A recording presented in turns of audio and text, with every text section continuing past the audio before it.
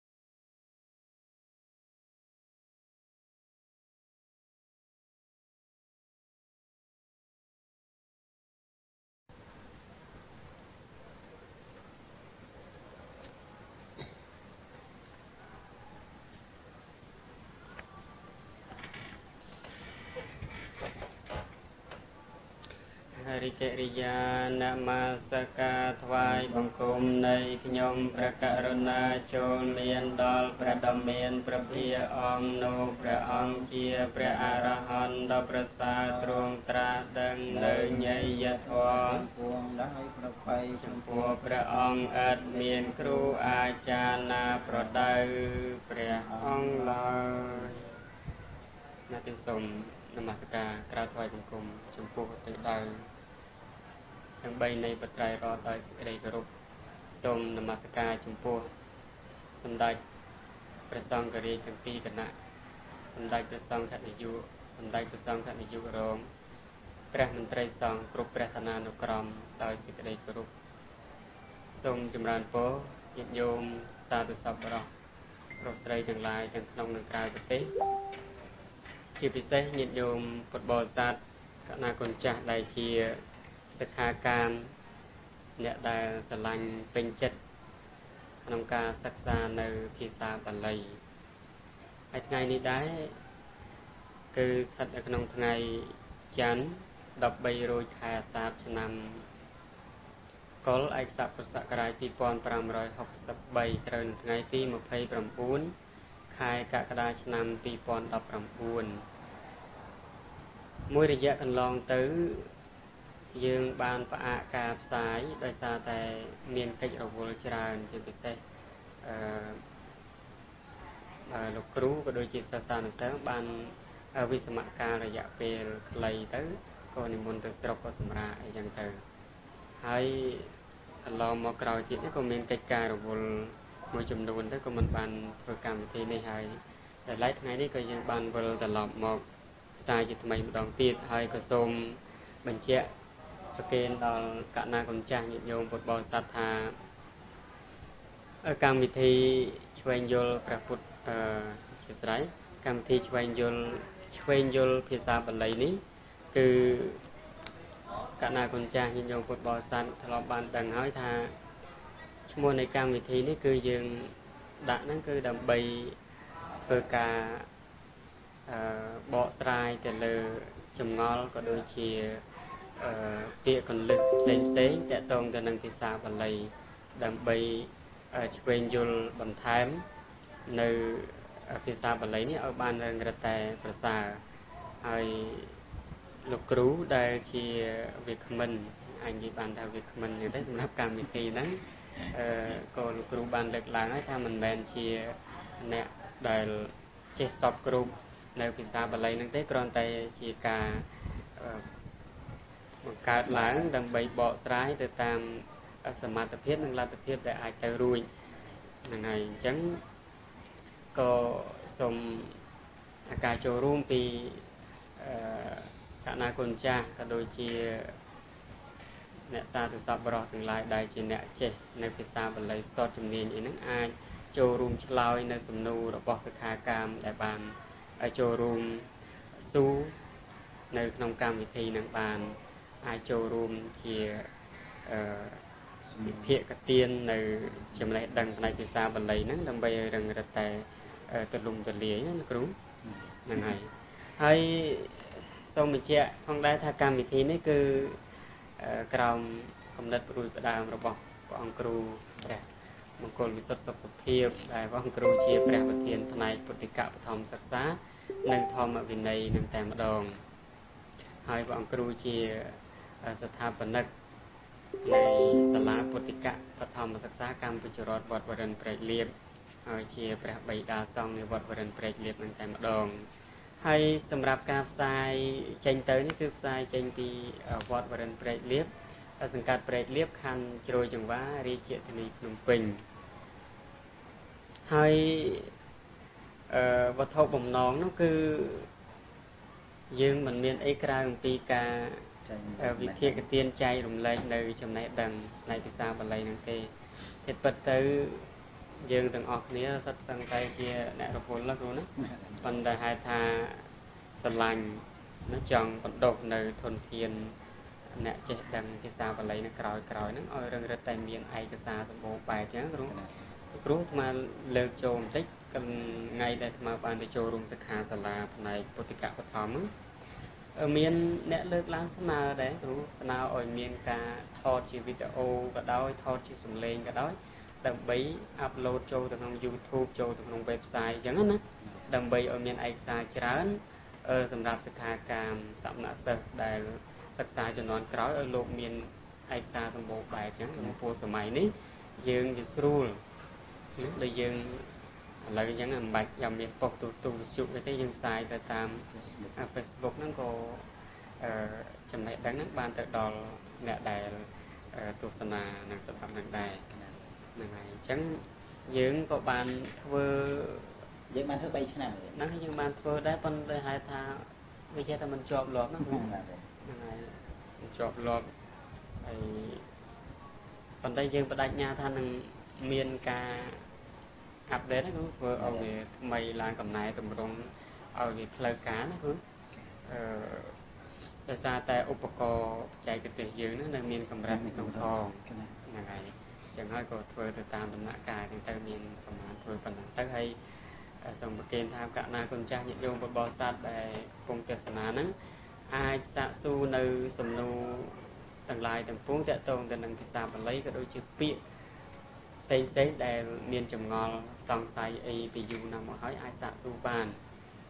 ហើយបើសិនជាអឺកម្មវិធីมันអាចឆ្លើយបានក៏សូមជំពាក់ដើម្បីសិក្សាស្រាវជ្រាវបន្ថែមទៀតហ្នឹងហើយពីព្រោះយើងមានគ្រូរបស់យើងបន្តបន្តទៀតហ្នឹងហើយអញ្ចឹងមានតែប៉ុណ្្នឹងទេចឹងសូមគោលឱកាសនេះដល់លោកគ្រូដើម្បី មានចំណាប់អារម្មណ៍អីថ្ងៃថ្មីបើយើងចាប់ផ្ដើមម្ដងទៀតនេះសូមអញ្ជើញគ្រូណាសុខធម្ម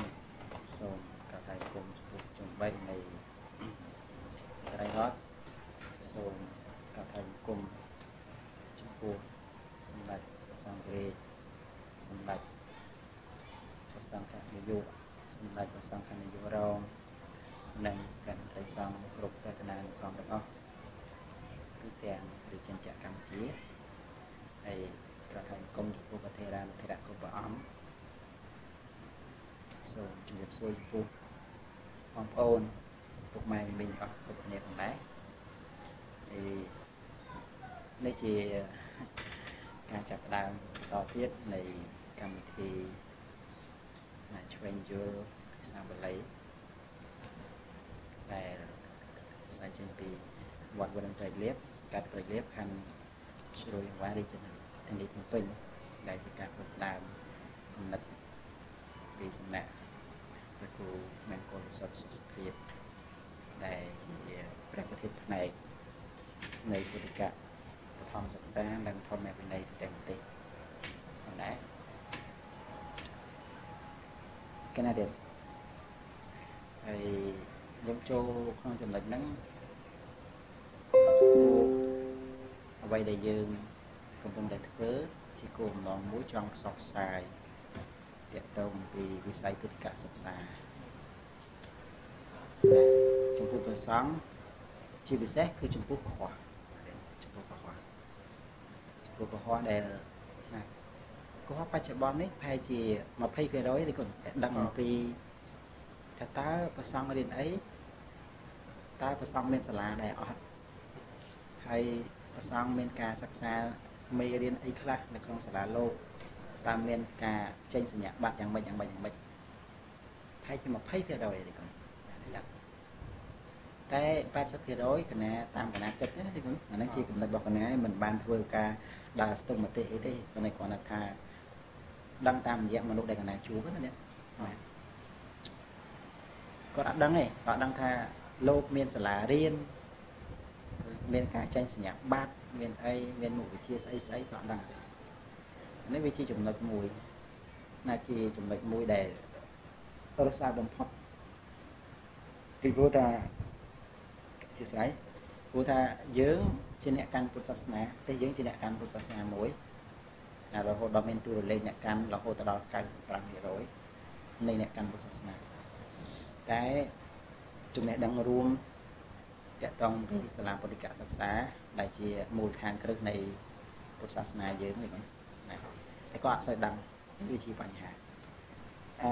ជាបញ្ហានឹងឯងបានធ្វើឲ្យកើតឡើងនៅគំនិតតាមរយៈគ្រូមង្គលវិសុទ្ធសុខភាពណាលោកព្យាយាមធ្វើតាមអ្វីដែលលោកអាចធ្វើបានណាហើយខ្ញុំកណាខ្ញុំបាទជាមួយនឹងលោកចាស់ក៏ដូចគ្នាដែរអាចធ្វើអ្វីទៅតាមសមត្ថភាពដែលខ្លួនអាចធ្វើបានអញ្ចឹងការបញ្ជ្រាបចំណេះដឹងទាក់ទងពីពុទ្ធិកសិក្សា ខ្ញុំកណាខ្ញុំបាទដូចជាគណៈគ្រប់គ្រងសាលាជាពិសេសគ្រូមង្គលសុខភាពណាគឺមានការផ្ដួចផ្ដើមធ្វើកម្មវិធីផ្សព្វផ្សាយហ្នឹងហើយក៏វាជាគំនិតចង់បានរបស់អើយគណៈគ្រប់គ្រងសាលាបរិកធម្មទូទាំងប្រទេសដែរដែលលោកចង់បានទាំងដែរមួយចំនួនអើយវាជាការចែករំលែកនៅចំណេះដឹងមួយហើយក៏ជាការទុកនៅឯកសារ ហៅថាឯកសារទុននេះគាត់ណាឯកសាររឿងឯកសារទុនណាអាហ្នឹងវាវាជាការពិតអញ្ចឹងមែនណានេះជាជាគោលបំណងរបស់ដែលរបស់ក្រមក៏ដូចជាគណៈគ្រប់គ្រងសាលាបរិកៈវត្តបរិនប្រៃលៀបសង្កេតឃើញឡើងហ្នឹងសំដៅទៅលើផលប្រយោជន៍រួមនៅពេលវែងតទៅមុខទៀតហ្នឹងឯងដែលសាលាយើងណាខិតខំប្រឹងប្រែងខិតខំប្រែង ហើយកណាដូចជាមិនដឹងថាមានអីបន្តទៀតទេទេតែគាត់ថាយើងចាំមើលសំណួរទៅហើយរយៈពេលហ្នឹងគុណមានមានអ្វីដែលឃើញហើយមានអ្វីដែលចង់លើកឡើងអាចអាចពិភាក្សាគ្នាតទៅទៀតយ៉ាងណាខាងមុនចុះអឺនៅក្នុង channel YouTube យើងគឺមានលោកចាស់ដែលជាគ្រូ បង្រៀនភាសាបាលីហ្នឹងនៅកម្ពុជាក្រោមហើយគាត់តែងតែមានមន្ទិលសង្ស័យច្រើនអញ្ចឹងណាគ្រូហើយគាត់គាត់មិនចង់បរៀនភាសាបាលីទេភាសាតែគាត់មិនសូវច្បាស់ប៉ុន្តែហេតុថាអត់មានគ្រូនៅស្រុកដូចជាខេត្តព្រះតាពាំងអញ្ចឹងស្មានដូចជាមិនច្បាស់អឺ លោកថានៅហ្នឹងមានតែគ្រូម្នាក់ទេដែលនៅសល់ពីដើមនេះគាត់ចាស់ឲ្យបរៀនឡើងកើតអញ្ចឹងគាត់ក៏ផ្ទេរភារកិច្ចហ្នឹងឲ្យទៅលោកហ្នឹងហើយអញ្ចឹងទៅលោកក៏យកទាំងនិយាយថាទទួលយកទាំងមិនពេញចិត្តណាដែលមិនពេញចិត្តនោះមិនមែនមិនស្រឡាញ់ក្នុងការបរិញ្ញាទេប៉ុន្តែមិនពេញចិត្តហ្នឹងតោះនិយាយថាសមត្ថភាពសមត្ថភាពខ្លាចថាវាអត់ដល់បរិញ្ញាគេទៅវាអត់អត់ច្បាស់អញ្ចឹងអញ្ចឹងទៅគាត់សុំ ស្នើមកខាងយើងគាត់ត្រេកអរមែនទែនលោកត្រេកអរសប្បាយចិត្តដល់ពេលដែលឃើញយើងបរិញ្ញាអញ្ចឹងហើយលោកតែងតែផ្ដល់ជាគំនិតមកឲ្យយើងថាសុំឲ្យមានមេរៀនហ្នឹងជាលំដាប់លំដោយគ្រប់នីតិទាំងអស់នៅក្នុងវេយ្យាករណ៍បាលីអញ្ចឹងគ្រូដើម្បីឲ្យគាត់បានមើលហើយសិក្សាស្រាវជ្រាវតាមនឹងទៅបរៀនថែមទៀតអញ្ចឹងណាហ្នឹងហើយព្រោះថាគាត់ថាគ្រូបញ្យល់ទៅវាឆាប់យល់ណាគ្រូតែអញ្ចឹងហើយជាមួយខ្មែរចូល channel YouTube ដែរ ដើម្បីមើល comment មានមានហើយឥឡូវទៅនឹងហ្នឹងថ្មចង់ឲ្យគ្រូលើកឡើងតកតងនឹងកម្រិតការសិក្សារបស់យើងបន្តិចតិចបាញ់មិញហ្នឹងគ្រូបាននិយាយថាខាងពុទ្ធិកៈយើងហ្នឹងប្រសក់ឬអត់សូវដឹងទេគ្រូណាមិនដឹងថាកម្រិតខាងយើងនឹងរៀនមិនទេអត់ដឹងទេហ្នឹងហើយអញ្ចឹងគ្រូអាច បញ្ជាក់បន្ថែមបន្តិចទៅថាកម្រិតរបស់យើងនឹងមានតាំងពីកម្រិតណារហូតដល់កម្រិតណាបច្ចុប្បន្នហ្នឹងណាគណៈទេហ្នឹងហើយគ្រូជួយបញ្ជាក់បន្តិចអរគុណទៀតហើយឥឡូវខ្ញុំគណៈខ្ញុំបាទសូមបញ្ជាក់នៅដំណើរនៃការប្រព្រឹត្តទៅរបស់សាលាពុទ្ធិកៈដែលជាសាលាផ្នែកខាងប្រសង់បើយើងនិយាយស្រួលស្ដាប់ថាសាលាលោកនិយាយចុះចុះហើយសាលាខាងពុទ្ធិកៈសិក្សានេះគេបែងចែកមានបឋម មានអនុមានវិទ្យាល័យមានវិទ្យាល័យនិងសាកលវិទ្យាល័យដូចគ្នាកម្រិតសញ្ញាបត្រគឺមានការទទួលស្គាល់ដូចគ្នាតែខ្ញុំកណាខ្ញុំបាទគាត់តែបញ្ជាក់លម្អិតម្ដងមួយកម្រិតម្ដងមួយកម្រិតដែរគឺតកតងអំពីផ្នែកបឋមសិក្សាគឺមានតែ3ថ្នាក់ទេគឺ3ឆ្នាំដែលគេហៅថាថ្នាក់ឆ្នាំទី1ថ្នាក់ឆ្នាំទី2និងថ្នាក់ឆ្នាំទី3ថ្នាក់ឆ្នាំទី1ជាថ្នាក់ដែល អឺយើងហៅថាថ្នាក់ដំបូងនៅក្នុងសាលាបឋមសិក្សាហ្នឹងគឺថ្នាក់ដែលនឹងទូទៅ ក្នុងសភៅរបស់ក្រសួងដែរព័ន្ធទៅនឹងមុខតែគេរៀននៅក្នុងកម្រិតថ្នាក់ទីថ្នាក់ទី4ណាថ្នាក់ទី4គេយកមកសិក្សានៅក្នុងថ្នាក់ឆ្នាំទី1នៃពុទ្ធិកបឋមសិក្សាហើយនៅក្នុងនោះ តកតងពីមុខវិជ្ជាស្នូលដែលពុទ្ធិករឹតបន្តឹងហ្នឹងគឺ4មុខទី1តកតងពីកណិតទី2ខ្មែរទី3បាលីទី4ព្រះវិន័យហ្នឹងគឺគេរឹតបន្តឹងឲ្យគេសម្រួចមុតស្រួចនៅក្នុង4មុខហ្នឹងណាគេតងពីភាសាបាលីភាសាបាលីគឺគេបង្ហាត់និងសំដៅ បែងចែកទៅតាមបែបនៃវេយ្យាករណ៍ថាទី1គឺគេឲ្យទិញវេយ្យាករណ៍តែម្ដងវេយ្យាករណ៍នៃភាសាបាលីមួយក្បាលនិយាយរួមកម្រិតថ្នាក់ទី1គឺធ្វើមកឲ្យទឹកនេះឲ្យចាំការយល់វាជាផ្នែកមួយឯងតាមសមត្ថភាពនៃសិស្សក៏ប៉ុន្តែគោលបំណងរបស់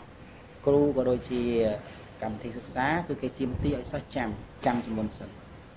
ចាំឲ្យច្រើនណាចាំឲ្យច្រើនជំនុនសិន ពេលដែលមេរៀននឹងចាំច្រើនហើយណាព្រោះនៅក្នុងវេយ្យាករណ៍ហ្នឹងគេបែងចែកសិក្សាជានិទេសវាមានរហូតដល់7និទេសដែលត្រូវសិក្សាអញ្ចឹងយ៉ាងយ៉ាងអន់បំផុតថ្នាក់ទី1គឺគេត្រូវសិក្សាយ៉ាងអន់ណាស់ក៏បាន5និទេសដែរគឺមានអក្សរនិទេសនិនិទេសសមាសនិទេសបឋមនិទេសនិងអក្សរនិទេសតែបើមានសមត្ថភាពបន្តអាចរៀនចប់គឺដល់កតកនិទេសនិងអូណាទីនិទេសកណា ដើម្បីយើងមានសមត្ថភាពអាចទន្ទិញបានសិស្សណាក៏ដោយឲ្យតែបានទន្ទិញវេយ្យាករណ៍បានច្រើន ចាំបានច្រើនសិស្សនោះប្រកាសជាចាក់ធ្លុះណាចាក់ធ្លុះបាននេះទៅសិក្សាស៊ីចំណៅទៅលើ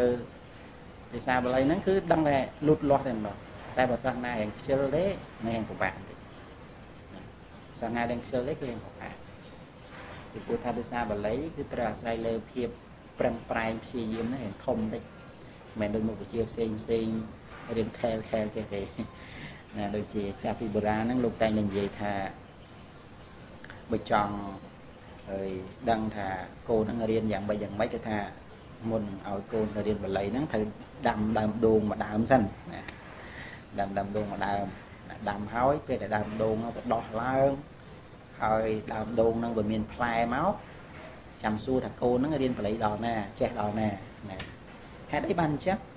ជាទូទៅដើមដូងហ្នឹងវាដាំវាកម្របដល់ផលទេណាយូរអត់បានផលយូរឆ្នាំអញ្ចឹងមានន័យថារៀនបាលីតម្រាំតែបានផលវាវាវាប្រើរយៈពេលយូរណារយៈពេលយូរទៅបានផលអញ្ចឹងវាអាស្រ័យទៅលើពេលវេលាយូរនេះ គឺត្រូវឲ្យមនុស្សមានការខំប្រឹងប្រែងព្យាយាមមុតមមណាខំប្រឹងប្រែងខ្លាំងណាតទៅអំពីមុខវិជ្ជាភាសាបាលីហើយនេះសម្រាប់ក្រិតបឋមថ្នាក់ទី1 ដល់ថ្នាក់ទី2គេរៀនមុខវិជ្ជាទូទៅដូចសាលាប្រសក់អញ្ចឹងដែរណាមានគណិតមានភាសាខ្មែរមានភូមិប្រវត្តិមានវិទ្យាសាស្ត្រអនុវត្តអីដូចគ្នាអញ្ចឹងណាតែគេរៀនថ្នាក់ទី5ឆ្នាំទី2ទេគុណណាថ្នាក់ទី5ហ្នឹងហើយភាសាបាលីគេសិក្សាស៊ីជំរឿតទៀតហើយវិន័យគេមានប៉ុន្តែគាត់នៅបន្ថែមហើយបញ្ជាក់នេះថាសាលាលោកគឺបន្ថែមបន្ថែមនៅមុខវិជ្ជាក្នុងសាសនាជាពិសេសភាសាបាលី ណាសាសនាព្រះវិន័យហើយក៏ដូចជាពុទ្ធប្រវត្តិកណាបញ្ចូលឯកូនបញ្ចូល4មុខអញ្ចឹងទាំងអស់8មុខនេះកូនណាណាបើរួមទាំងអង់គ្លេសទេដូចជា9ឯកូនណា9គណៈ9អង់គ្លេសមួយទៀត9សម្រាប់សាលាបឋមទេណាសាលាបឋមទេសាលាលោកអញ្ចឹងបើគិតទៅ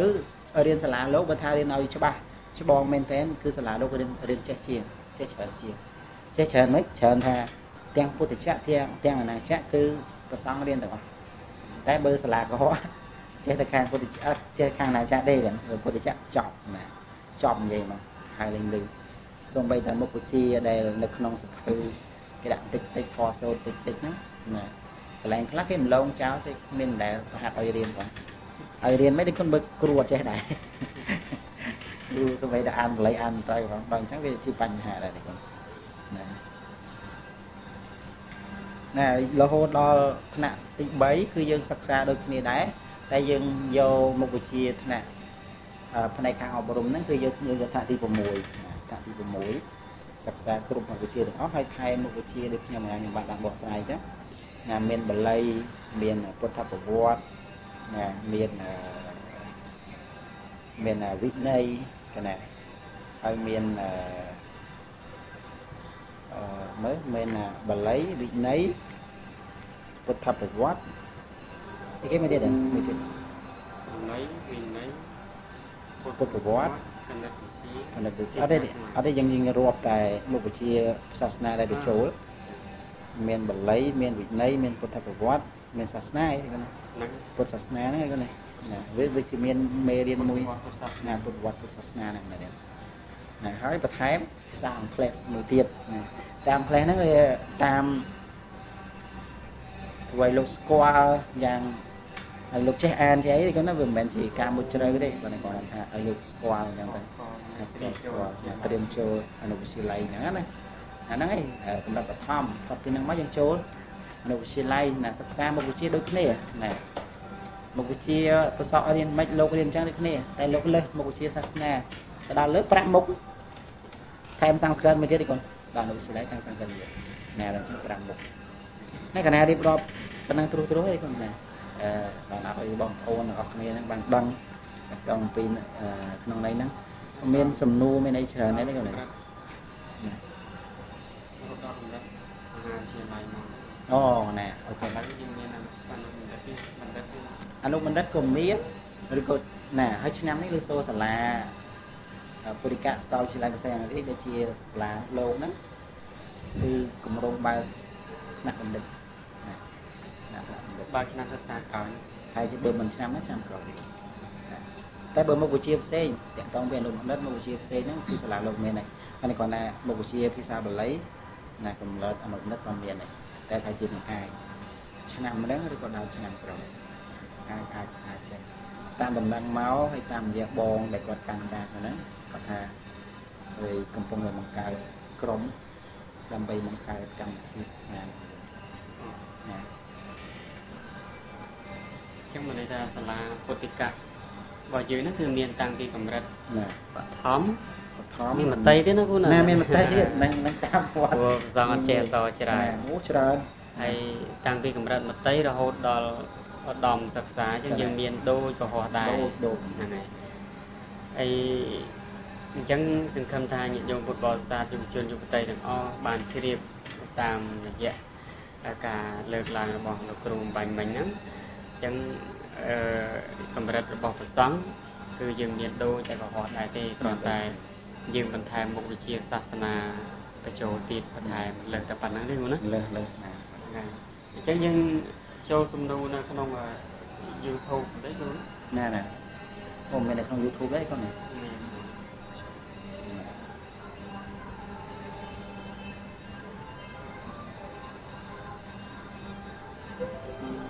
អឺសួរសំណួរលើគេនេះមុនមកដល់គាត់ណាអឺគាត់សួរថា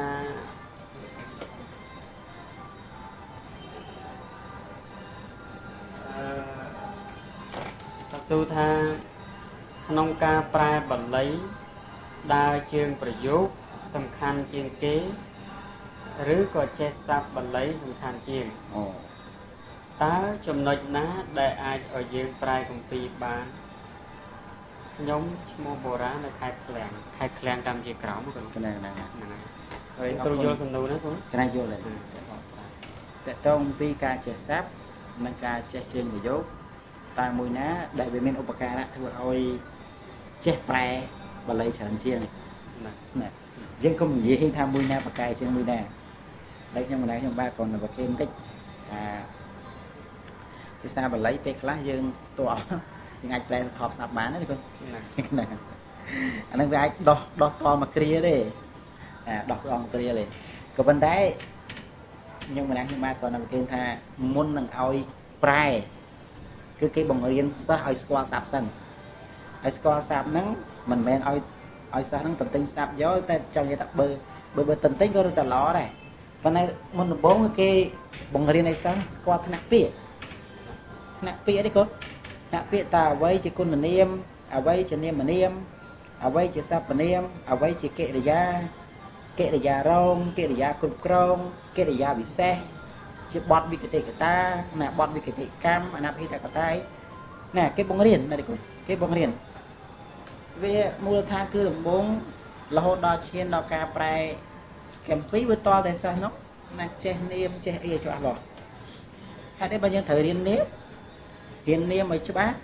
ដើម្បីឲ្យសិស្សហ្នឹងមើលស្គាល់បទប្រធានណាបទប្រធានវាជានាមវាប្រកបវិភ័តស្អីឧទាហរណ៍ថាបទប្រធានវាប្រកបបឋមវិភ័តនឹងវាជាចាំបាច់ហើយនៃប្រយោគទូទៅនៅក្នុងភាសាបាលីហ្នឹងហើយបទពាក់ព័ន្ធណាបទណាដែលជាទុតិយាជាចតន្ត្រីជាឆាត់ត្រីជាសត្វថ្មីយើងត្រូវយើងត្រូវស្គាល់អាហ្នឹងស្គាល់អាហ្នឹងហើយទៅលក្ខខណ្ឌទី2បានឈានទៅដល់ការរៀនប្រយោគណា រៀនប្រយោគគឺឲ្យយើងដឹងពាក់ព័ន្ធអំពីរបៀបនៃការប្រែហ្នឹងឯងរបៀបនៃការលោកជើងប្រយោគនៅក្នុងការសិក្សាប្រយោគគឺគេប្រាប់ទាំងអស់នេះគុណណាប្រាប់ទាំងអស់ឧទាហរណ៍សិក្សាអំពីប្រយោគកតវិកៈ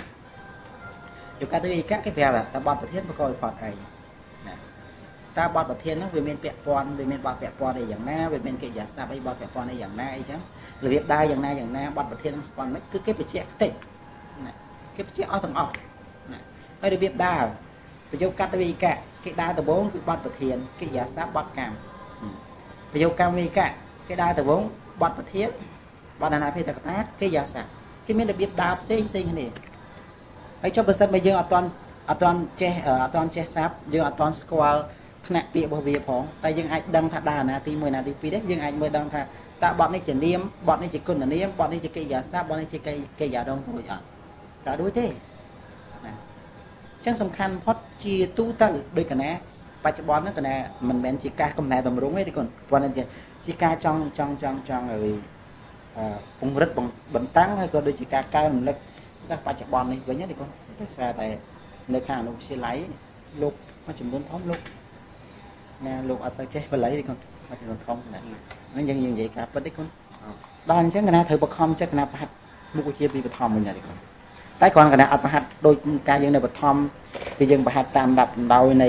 នៃនៃនិទេសទាំងអស់ហ្នឹងទេទីមួយគឺកណាបង្ហាត់អឺបង្ហាត់នាមនាមនិទេសអាហ្នឹងសម្រាប់អ្នកធ្លាប់ចេះធ្លាប់ដឹងណាគុណអញ្ចឹងយើងបង្ហាត់ទីមួយគឺនាមនាមនិទេសតែយើងបង្ហាត់មិនក្នុងនាមនិទេសទីមួយគឺយើងឲ្យយើងឲ្យលោកស្គាល់តកតងអំពីចំណុចពិសេសនៃការតន្ទិញមេរៀនសិនអញ្ចឹងចំណុចពិសេសនៃការតន្ទិញមេរៀនហ្នឹង នៅក្នុងនាមនិទេសយើងត្រូវកំណត់ឲ្យលោកចាក់មកច្បាស់តកតងវិករណពាក្យប្រែរបស់វិភ័តឲ្យច្បាស់លាស់ឲ្យលោកមើលដឹងថានេះវិភ័តអីវចនៈអីតើវាប្រកបដោយអយតនិបាតប្រែថាម៉េចឲ្យច្បាស់លាស់ឡើងហ្នឹងដឹងទូនាទីវាច្បាស់លាស់មកបន្ទាប់មកនាំឲ្យយើងនេះនៅក្នុងនាមនិទេសហ្នឹងនាំឲ្យយើងស្គាល់តែតងពីគុណនាមស្គាល់តែតងពីសព្វនាមហ្នឹង3ហ្នឹងឯងគាត់ណានាមនាមគុណនាមសព្វនាមអញ្ចឹងនៅក្នុងនាមនិទេសទាំងអស់អញ្ចឹងនាមនិទេសវាសង្កត់ខ្លួនទៅលើកន្លែងហ្នឹង ហើយងាប់រស់នឹងករណនេះគាត់នាមនិទេសណាក៏ស្ទើរករណចប់ហើយណាចេះករណច្បាស់លាស់ពាក្យប្រែបរិផតច្បាស់លាស់បច្ច័យនាមច្បាស់លាស់មកហើយយើងទៅរកកិច្ចអាសាបណាការបង្ហាញហ្នឹងគឺកណាបង្ហាញឧទាហរណ៍ថាដាក់អឺយើងរៀនតកតងពីអក្សរពងលឹងទៅយើងដាក់សាបអក្សរពងលឹងមកចលីឲ្យលោកហ្នឹងទៅណាកណាហើយបង្រៀនឲ្យមានការប្រែ មកប្រយោគហ្នឹង3ម៉ាត់4ម៉ាត់ទេហេតុអីបានយើងទៀមទាមានការតទៀមទាឲ្យលោកមើលឲ្យស្គាល់តទៅពីវិផតតានេះវិផតនេះវាប្រែយ៉ាងម៉េចណាវាលោតទៅណាហើយគួរចេញពាក្យអាយតនិបាតហ្នឹងមួយណាហើយមួយណាជាចំណុចដែលយើងទាញអាយតនិបាតមកឆាប់ត្រូវណាឧទាហរណ៍ក្នុងអាយតនិបាតនេះទូយាយផតវាជ្រើនៅកាន់យ៉ាងអស់នៃចំពោះ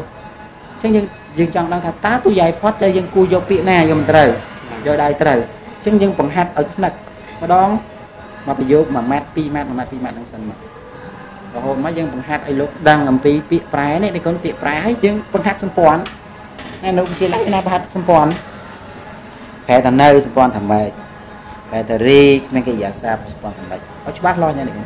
ថាបង្ហាត់ម្ដងមកពាក្យម្ដងមកពាក្យម្ដងមកពាក្យរហូតដល់យើងបង្កើតប្រយោគបានគ្រប់ជ្រុងជ្រោយមានមានប្រធានមានបទកម្មមានកិរិយាសព្ទដោយសារតែយើង បង្ហាត់បញ្ចូលកិរិយាខ្យានៅក្នុងតិចតិចតិចតិចក្នុងនោះណា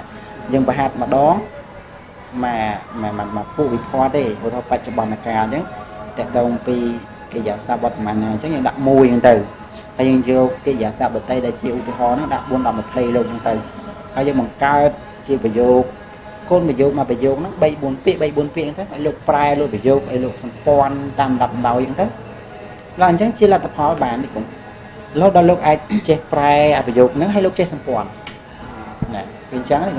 ណាចឹងងាប់រស់នឹងអាកិនៀបកិយាសាមហ្នឹងគឺអក្សរនេះឲ្យស្គាល់ឲ្យចេះបង្កើតមិនមែនត្រឹមតែបង្ហាត់ឲ្យលោកចេះសូត្រទេត្រូវឲ្យលោកចេះប្រើប្រើហ្នឹងចេះបង្កើតអាហ្នឹងតាមលំដាប់បែបបត់នៅក្នុងបែបអំបីធានយ៉ាងម៉េចយ៉ាងម៉េចណារហូតណាប្រើកិរិយារងដូចជាកិរិយាកតកៈតើរបៀបប្រើរបស់វាយ៉ាងម៉េចយ៉ាងម៉េចណាស្រួលទេគាត់ ណាចំណុចទាំងអស់ហ្នឹងណាមួយធំបំផុតគឺបត់នាមកិរិយារងកិរិយាគ្រប់គ្រងមានអានឹងហើយយើងទៅរៀនប្រយោគទៅណារៀនប្រយោគទៅរៀនប្រយោគតាមបែបបទម្ដងមួយម្ដងមួយបង្ហាត់ប្រែសម្ព័ន្ធឲ្យច្បាស់លាស់ម្ដងមួយម្ដងមួយកំណត់លក្ខខណ្ឌលក្ខខណ្ឌហើយកំណត់លក្ខណៈនៃការសម្គាល់ឲ្យច្បាស់លាស់ណាអានោះវាយោងគ្នាទេកុំណា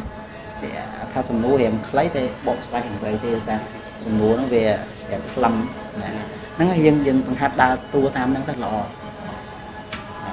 ហ្នឹងហើយយើងគ្រូអឺអរគុណច្រើនហើយ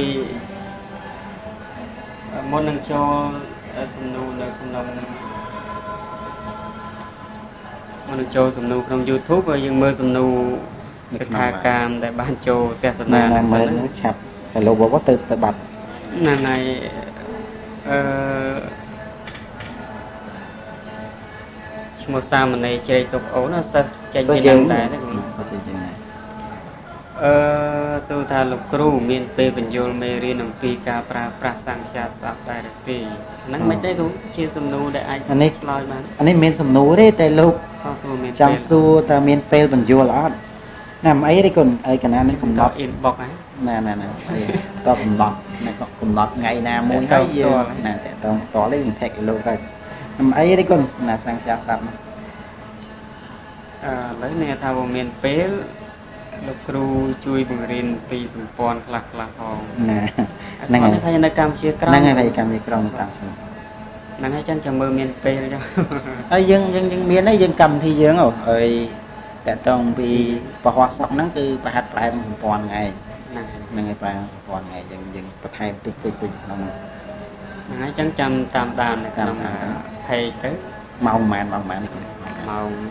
ហើយយើងនឹងផ្សាយជាប្រកដីវិញចាប់ពីម៉ោង7ដល់ម៉ោង8កន្លះនោះណា7 8កន្លះហ្នឹងហើយហើយយើងផ្សាយថ្ងៃអង្គាពុទ្ធហ្នឹងគឺយើងសិក្សាអំពីអីដែរគឺគេពុទ្ធយើងសិក្សាអំពីសាធនៈចំភ្លេចញឹមកតកៈគាពុទ្ធយើងរៀនអំពីសាធនៈហ្នឹងវិជ្ជាករវិជ្ជាករហ្នឹងហើយដល់ពេលបរោះសុកយើងរៀនពី សម្ព័ន្ធនឹងប្រែលោកប្រយោគនឹងប្រែលោកប្រយោគហ្នឹងគេហៅថាប្រយោគកវិភាគណាមានន័យថាយកប្រយោគហ្នឹងមកកំណត់វិភាគវែកញែកពីណាទៅណាជាប្រយោគអីតើដើរល្មិចមិនសម្ព័ន្ធមិនមិនអញ្ចឹងណាគាត់ហ្នឹង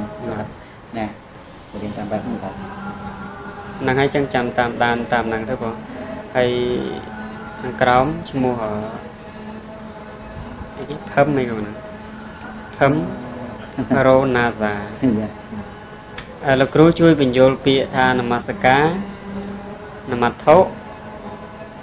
រតនតយសៈនមត្ថុរតនតយសៈវន្ទាមិធម្មកថាសពថ្ងៃប្រើដោយមិនមិនឆ្វេងយល់តទៅសោះបើន័យថាมันបានឆ្វេងយល់ក៏គិតឲ្យច្បាស់លាស់ដឹងរយៈជ្រៅហើយយើងប្រើណាប្រើតាម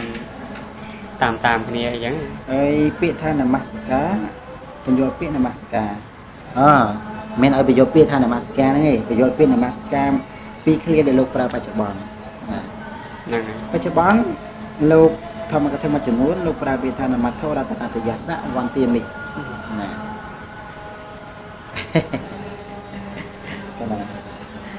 កណាមិនថាមិនអីកូនការកណានៅប៊ូកណាធ្លាប់ប្រើពាក្យហ្នឹងដែរតែដល់យកមកវិធីខុសទេណាខុសមិន បើមែនតើវាមិនខុសទេ តែវាបង្កើតប្រយោគថ្មីមួយទៀតណាអឺនិមត្ថរតនតយសៈប៉ុណ្ណឹងគ្រប់គ្រាន់ហើយនេះកូននិមត្ថយើងកាត់បត់និមត្ថមកពីនមោបូកនឹងអត្ថកណានមោបូកនឹងអត្ថរតនតយសៈប៉ុណ្ណឹងហើយនេះកូនអ្នកមោជាបទប្រធានអត្ថជាកិរិយាស័ព្ទរតនតយស័ព្ទជាសម្បទានអ្នកមោរីកិរិយានៃមាសកាបើយើងបញ្ចូលមកថាមេនៃខ្ញុំ អត្ថចូលមានរតនតយស័ព្ទដល់ប្រជុំ3នៃបត្រៃរតចង់និយាយថាប្រយោគគេប៉ុណ្ណឹងគ្រប់គ្រាន់ហើយដល់យើងដាក់មកទៀតវ៉ាន់ទីមីមែនទេថាខ្ញុំតែងថ្វាយបង្គំដាក់ដាក់ទៅឆ្កអីទៅដាច់ដលែងគ្នាដល់អញ្ចឹងវាគិតថាចំណុចអ្នកមត្ថរតនតយស័កប៉ុណ្ណឹងគឺគ្រប់គ្រាន់បាញ់បន្ថែមឯងវ៉ាន់ទីមិនដាក់ទៅអាហ្នឹងវាជាប្រយោគថ្មីផ្សេងមួយទៀតតែសួរតែខុសទេទេ គេអ្នកបន្ថែមមិនមានអីថាខុសទេប៉ុន្តែវាអត់ស្របវាអត់ស៊ីសេចក្តីជាមួយនឹងប្រយោគខាងដើមរបស់គេព្រោះរបស់គេវាពេញលេញហ្នឹងគាត់ណាណាពេញលេញហើយគេដាក់អ្នកមោរីកិរិយាអ្នកមសកាមេនៃខ្ញុំអត្ថចូលមានរតនតយស័កដល់ប្រជុំ3នៃព្រះត្រៃរតដល់បច្ចុប្បន្នលេងមានវ័នទាមិមួយទៀតណាវ័នទាមិមួយទៀតមានន័យថាអាហាងរីខ្ញុំវ័នទាមិតែងថ្វាយបង្គំវាជាប់គ្នាដែរដែរលេងមានន័យថា រីកិរិយានមស្ការរបស់ខ្ញុំ ចូលមានដល់ប្រជុំ3នៃបត្រៃរតខ្ញុំតែងថ្វាយបង្គំនេះឃើញទេមានដែរដែរលេងណាបើមែនតែដល់សិក្សាស៊ីចំណៃយូរទៅណារៀនយូរទៅចេះបល័យយូរទៅបានដឹងថាអូហើយនេះខុសតាឈប់ឯងនេះគាត់អញ្ចឹងប្រើពាក្យនមស្ការតាមតែនមត្ថរតនតយសៈប៉ុណ្ណឹងគ្រប់គ្រាន់បាច់ជួយទេទេណានេះក៏ណាប្រទេសនេះគុណណាប្រទេសនេះគុណនេះគុណអត់មានការ មិនពេញចិត្តអីអាចណាជជែកគ្នាបន្តទៀតបានទេណាសំណួរមួយទៀតគាត់សួរថាតើអិតិស័ព្ទប្រែថាដូចម្ដេចដែលហៅថាសរូបៈនោះប្រែមុននាមឬក៏ក្រោយនាមកណាអីអិតិស័ព្ទប្រែដូចនេះដែលហៅថាសរូបៈនោះប្រែមុននាមឬក៏ក្រោយនាមយ៉ាណា អិតិស័ព្ទវាមានវាមានរបៀបសម្ព័ន្ធពីរយ៉ាងពីរយ៉ាងហ្នឹងចង់និយាយថាវាប្រើនៅខាងក្រៅណាដែលគេប្រែថាដូចនេះវាមានការសម្ព័ន្ធពីរយ៉ាងបើវាប្រែបន្តអំពីកិរិយា គេសម្ព័ន្ធវាថាអាការៈឧទាហរណ៍វត្តថ្មពោលហើយអិតិថាដូច្នេះចឹងអិតិហ្នឹងប្រែក្រោយវត្តថ្មនេះណាហើយវត្តថ្មជាកិរិយាសាស្ត្រយ៉ាងនេះវត្តថ្មប្រែតែពោលពោលហើយវាជាកិរិយាសព្ទដោយទេស័ព្ទវាប្រែបន្តពីអវត្តថ្មហ្នឹងណា វត្តថ្មពោលហើយទេថាដូច្នេះចឹងទេស័ព្ទដែលប្រែបន្តពីវត្តថ្មដែលបន្តពីកិរិយាសព្ទគេសម្ព័ន្ធថាអាការៈចុះបើទេស័ព្ទប្រែបន្តពីនាមថាសម្ព័ន្ធថាអាការៈឥឡូវសរូបៈសរូបៈណាអាហ្នឹងវាអញ្ចឹងវិញបើប្រែបន្តពីនាមហៅថាសរូបសរូបៈឧទាហរណ៍ណាចិនតនេអ្នកណាចិនតនេអ្នកអីទេមានដោយគំនិតគិតថាដូច្នេះចិនចិនតនេអ្នកដោយគំនិតអ៊ីទេថាដូចនេះណាអាដោយគំនិតហ្នឹងពាក្យក្នុងភាសាបាលីគេប្រើពាក្យថាចិនតនេនេះ ចិនតនេនេះមកពីចិនតនេប្រែថាការគិតអញ្ចឹងវាជានាមអញ្ចឹងវាបន្តពីនាមគេសម្ព័ន្ធវាថាសារូសរូបៈអញ្ចឹងត្រូវឲ្យគាត់សួរតាមពិតគាត់ចេះហ្នឹងគាត់សួរមានន័យថាទេសាប្រែដូចនេះបើប្រែបន្តពីនាមគេសម្ព័ន្ធថាសរូបៈដល់គេយ៉ាងគេសម្ព័ន្ធថាអាការៈប៉ុណ្ណឹងណាទេឥឡូវសំណួរនៅក្នុង line នេះដូចជាអស់នេះមកមួយទៀតហើយអ ញ្ចឹងបងដែលនៅកម្ពុជាក្រមប្រហែលជាគាត់យល់បានគាត់ថាកណាព្រះអង្គអឺ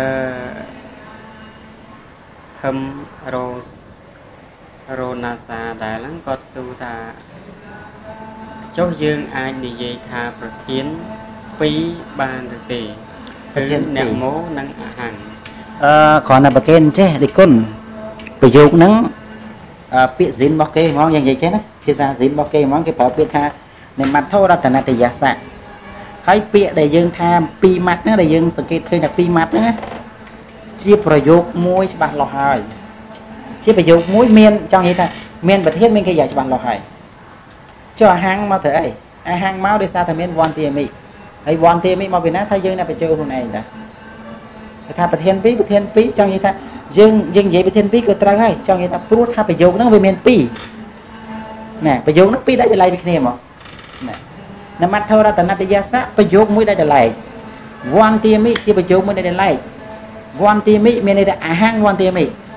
អាហាងសយកតាក្នុងវន្តាមិវន្តាមិអក្សរបត្តិកតិកាអាហ្នឹងមកប្រយោគដែលយើងបញ្ចូលខ្លួនយើងថាតែបើគេនោះនមោរិកិរិយានមសកាមេនៃខ្ញុំអត្ថុចូលមានរតនតយសៈដល់ប្រជុំបីនៃបត្រៃរកហ្នឹងបើគេមានបើគេមកកំ pl េណាតែបើគេគ្រាន់តែចង់បញ្ជាក់ថាមកលៀនហ្នឹង គឺបង្ហាញពីការថ្វាយបង្គំចំពោះព្រះត្រៃរតរបស់យើងឯតាអាមេនោះទេគុណមេដែលចំនួនហ្នឹងណាអ្នកមោរិកិរិយានមស្ការមេនៃខ្ញុំអត្ថុចូលមានរតនតយសៈដល់ប្រជុំ3នៃបត្រៃរតអញ្ចឹងមេហ្នឹងចំនួនឲ្យខ្ញុំហើយហ្នឹងចឹងយើងបាញ់ថាអាហាងរីខ្ញុំវ៉ាន់ទេមានតែថ្វាយបង្គំដែរកណាដាក់អញ្ចឹងវាជន់ដដែលដដែលទេចង់និយាយថាបើសរសេរហ្នឹងវាយ៉ាងម៉េចចង់ដាក់ដាក់ទៅណាអាហ្នឹងប្រយោគដាច់ដលែកដែលលោកបន្ថែមណា តែសួរថាវាមានពាក់ព័ន្ធអីជាមួយនឹងនមត្ថរតនតយសៈទេថាតទេហ្មងអត់មានពាក់ព័ន្ធគ្នាទេប្រយោគដាច់ដលែកគ្នាមេសាមីសពន្ធៈក្នុងអ្នកមោវាយើងបញ្ចូលមេទេកូនណាណាអ្នកមោសយកតាក្នុងអត្ថុរតនតយសៈសម្បទានអ្នកក្នុងអត្ថុអត្ថុអក្សរបត្តិវិចាណាអត្ថុហ្នឹងវាមកពីអសធាតអសធាតបូកនឹងអបច្ច័យបូកនឹងតុបូកនឹងតុបញ្ចមី ហេតុតែចូលមានណាអញ្ចឹងកូនហើយបើថាយកអត្ថុជាកិរិយាសព្ទរបស់អាហាងក៏ទៅអត់រួចដែរអាហាងបរោះទី3អីក៏បាច់ដែរដល់អត្ថុតុជាបរោះទី1អីក៏បាច់ដែរដាច់កន្លែងគ្នាឆ្ងាយអត់ត្រូវទេណាប៉ុណ្ណឹងគូណាណាណាណាហើយគាត់ថាឃើញមាននៅតាមសភៅផ្សេងផ្សេងទៀតច្រើននងហើយគុណព្រោះថាមានអ្នកធម្មកថាល្បីមួយចំនួនដែលអត់ចេះបល័យ ដល់អញ្ចឹងចេះតែថាចេះតែថាអញ្ចឹងអ្នកសរសេរអ្នកថាហ្នឹងព្រោះធម្មកថាមិនដើម្បីមួយចំនួននៃលោកអត់ចេះបល័យលោកសរសេរសភៅទេតាដល់អញ្ចឹងលោកចេះដាក់ទៅតែដូចកណាប្រគេនេះនេះគាត់ថាអត់ខុសទេតែសូថាវន្តទាមិវាមានសេចក្តីពាក់ព័ន្ធជាមួយនឹងនិមត្តរតនតយសាអត់ថាមិនមែនទេវាអត់ពាក់ព័ន្ធគ្នាទេវាជាប្រយោគដៃដល់ឡៃគ្នាចឹងនិយាយថាប្រយោគពីរដៃដៃដៃឡៃគ្នាប្រយោគទី1មានអមោជាប្រធានមានអត្ថុជាកិយាស័ព្ទ ប្រយោគទី2មានអាហាងជាប្រធាន មានវន្តាមិជាកិរិយាសព្ទគ្រប់គ្រាន់ណាទេកូនចំណុចហ្នឹងវាដាច់ដライគ្នាហើយបើយើងយកទាំងពីរប្រើវាស្ដាប់ទៅវាជន់ញ៉ៃញ៉ៃចឹងទេចឹងអញ្ចឹងណាវាជន់ញ៉ៃញ៉ៃទេកូននេះគុណប្រែខ្លួនឯងនៅកណ្ដាលប្រែណាប្រែសត្វតែនមោរិកិរិយានៃមាសកាមេនៃខ្ញុំអត្ថុចូលមានរតនតយសៈដល់ប្រជុំ3នៃបត្រៃរតអាហាងនេះខ្ញុំវន្តាមិតែងថ្វាយបង្គំហើយទីគុណគិតមើលវាមិនកន្លែងណា អត់ស្របទេទីគុណចឹងនិយាយថានៅមត្ថុរតនតយសៈប៉ុណ្ណឹងគឺគ្រប់គ្រាន់ហើយមិនបាច់បញ្ចូលអីទៀតតែសួរថាបញ្ចូលខុសអត់ខុសទេទីគុណចង់បញ្ចូលបញ្ចូលប៉ុន្តែគ្រាន់តែវាច្រំដែរណាបានវាច្រំដែរប៉ុណ្ណឹងការនមស្ការរបស់ខ្ញុំចូលមានដល់ប្រជុំឯនៃបដិរតខ្ញុំតែថ្វាយបង្គំនេះគុណគិតមើលរៀងសេចក្តីមកគឺអញ្ចឹងបើយើងបន្ថែមហ្នឹងរៀងសេចក្តីមកអញ្ចឹងដល់អញ្ចឹងវាដូចជាអត់ព្រោះនៃវាវាឆ្កងហ្មងនេះឆ្កងនៃទាំង នោះចឹងគាត់ណាប្រកេនប៉ុណ្ណឹងដូចគុណឬក៏បងប្អូនណាដែលមានសំណួរឬក៏ការឆ្លើយរបស់ខ្ញុំមិនទាន់យល់ចូលចិត្តអីអាចជជែកគ្នាបន្តទៀតបានណាបច្ចុប្បន្នណាមួយសភៅបោះពុំបច្ចុប្បន្នខ្ញុំកណាខ្ញុំបានដឹងថាយ៉ាងម៉េចដែរមានការឆ្លងកាត់អីយ៉ាងម៉េចឬក៏សភៅហ្នឹងចាស់ពីបរមបារាណមកអីយ៉ាងម៉េចមិនដឹងទេណាអត់ទេប៉ុន្តែគាត់ប្រកេនថាសួរថាខុសទេមិនខុសទេតែវាគ្រាន់តែ វាច្រំដែរណាអញ្ចឹងណាអូប្រធានដាច់ឡៃគ្នាវ័នទីមីហ្នឹងមានអាហាងណាដាច់ឡៃគ្នាហ្មងដាច់ដាច់ដាច់ផ្សេង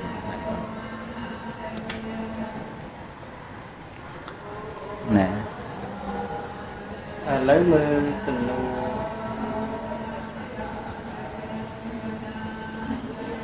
ញ៉ាំដែរ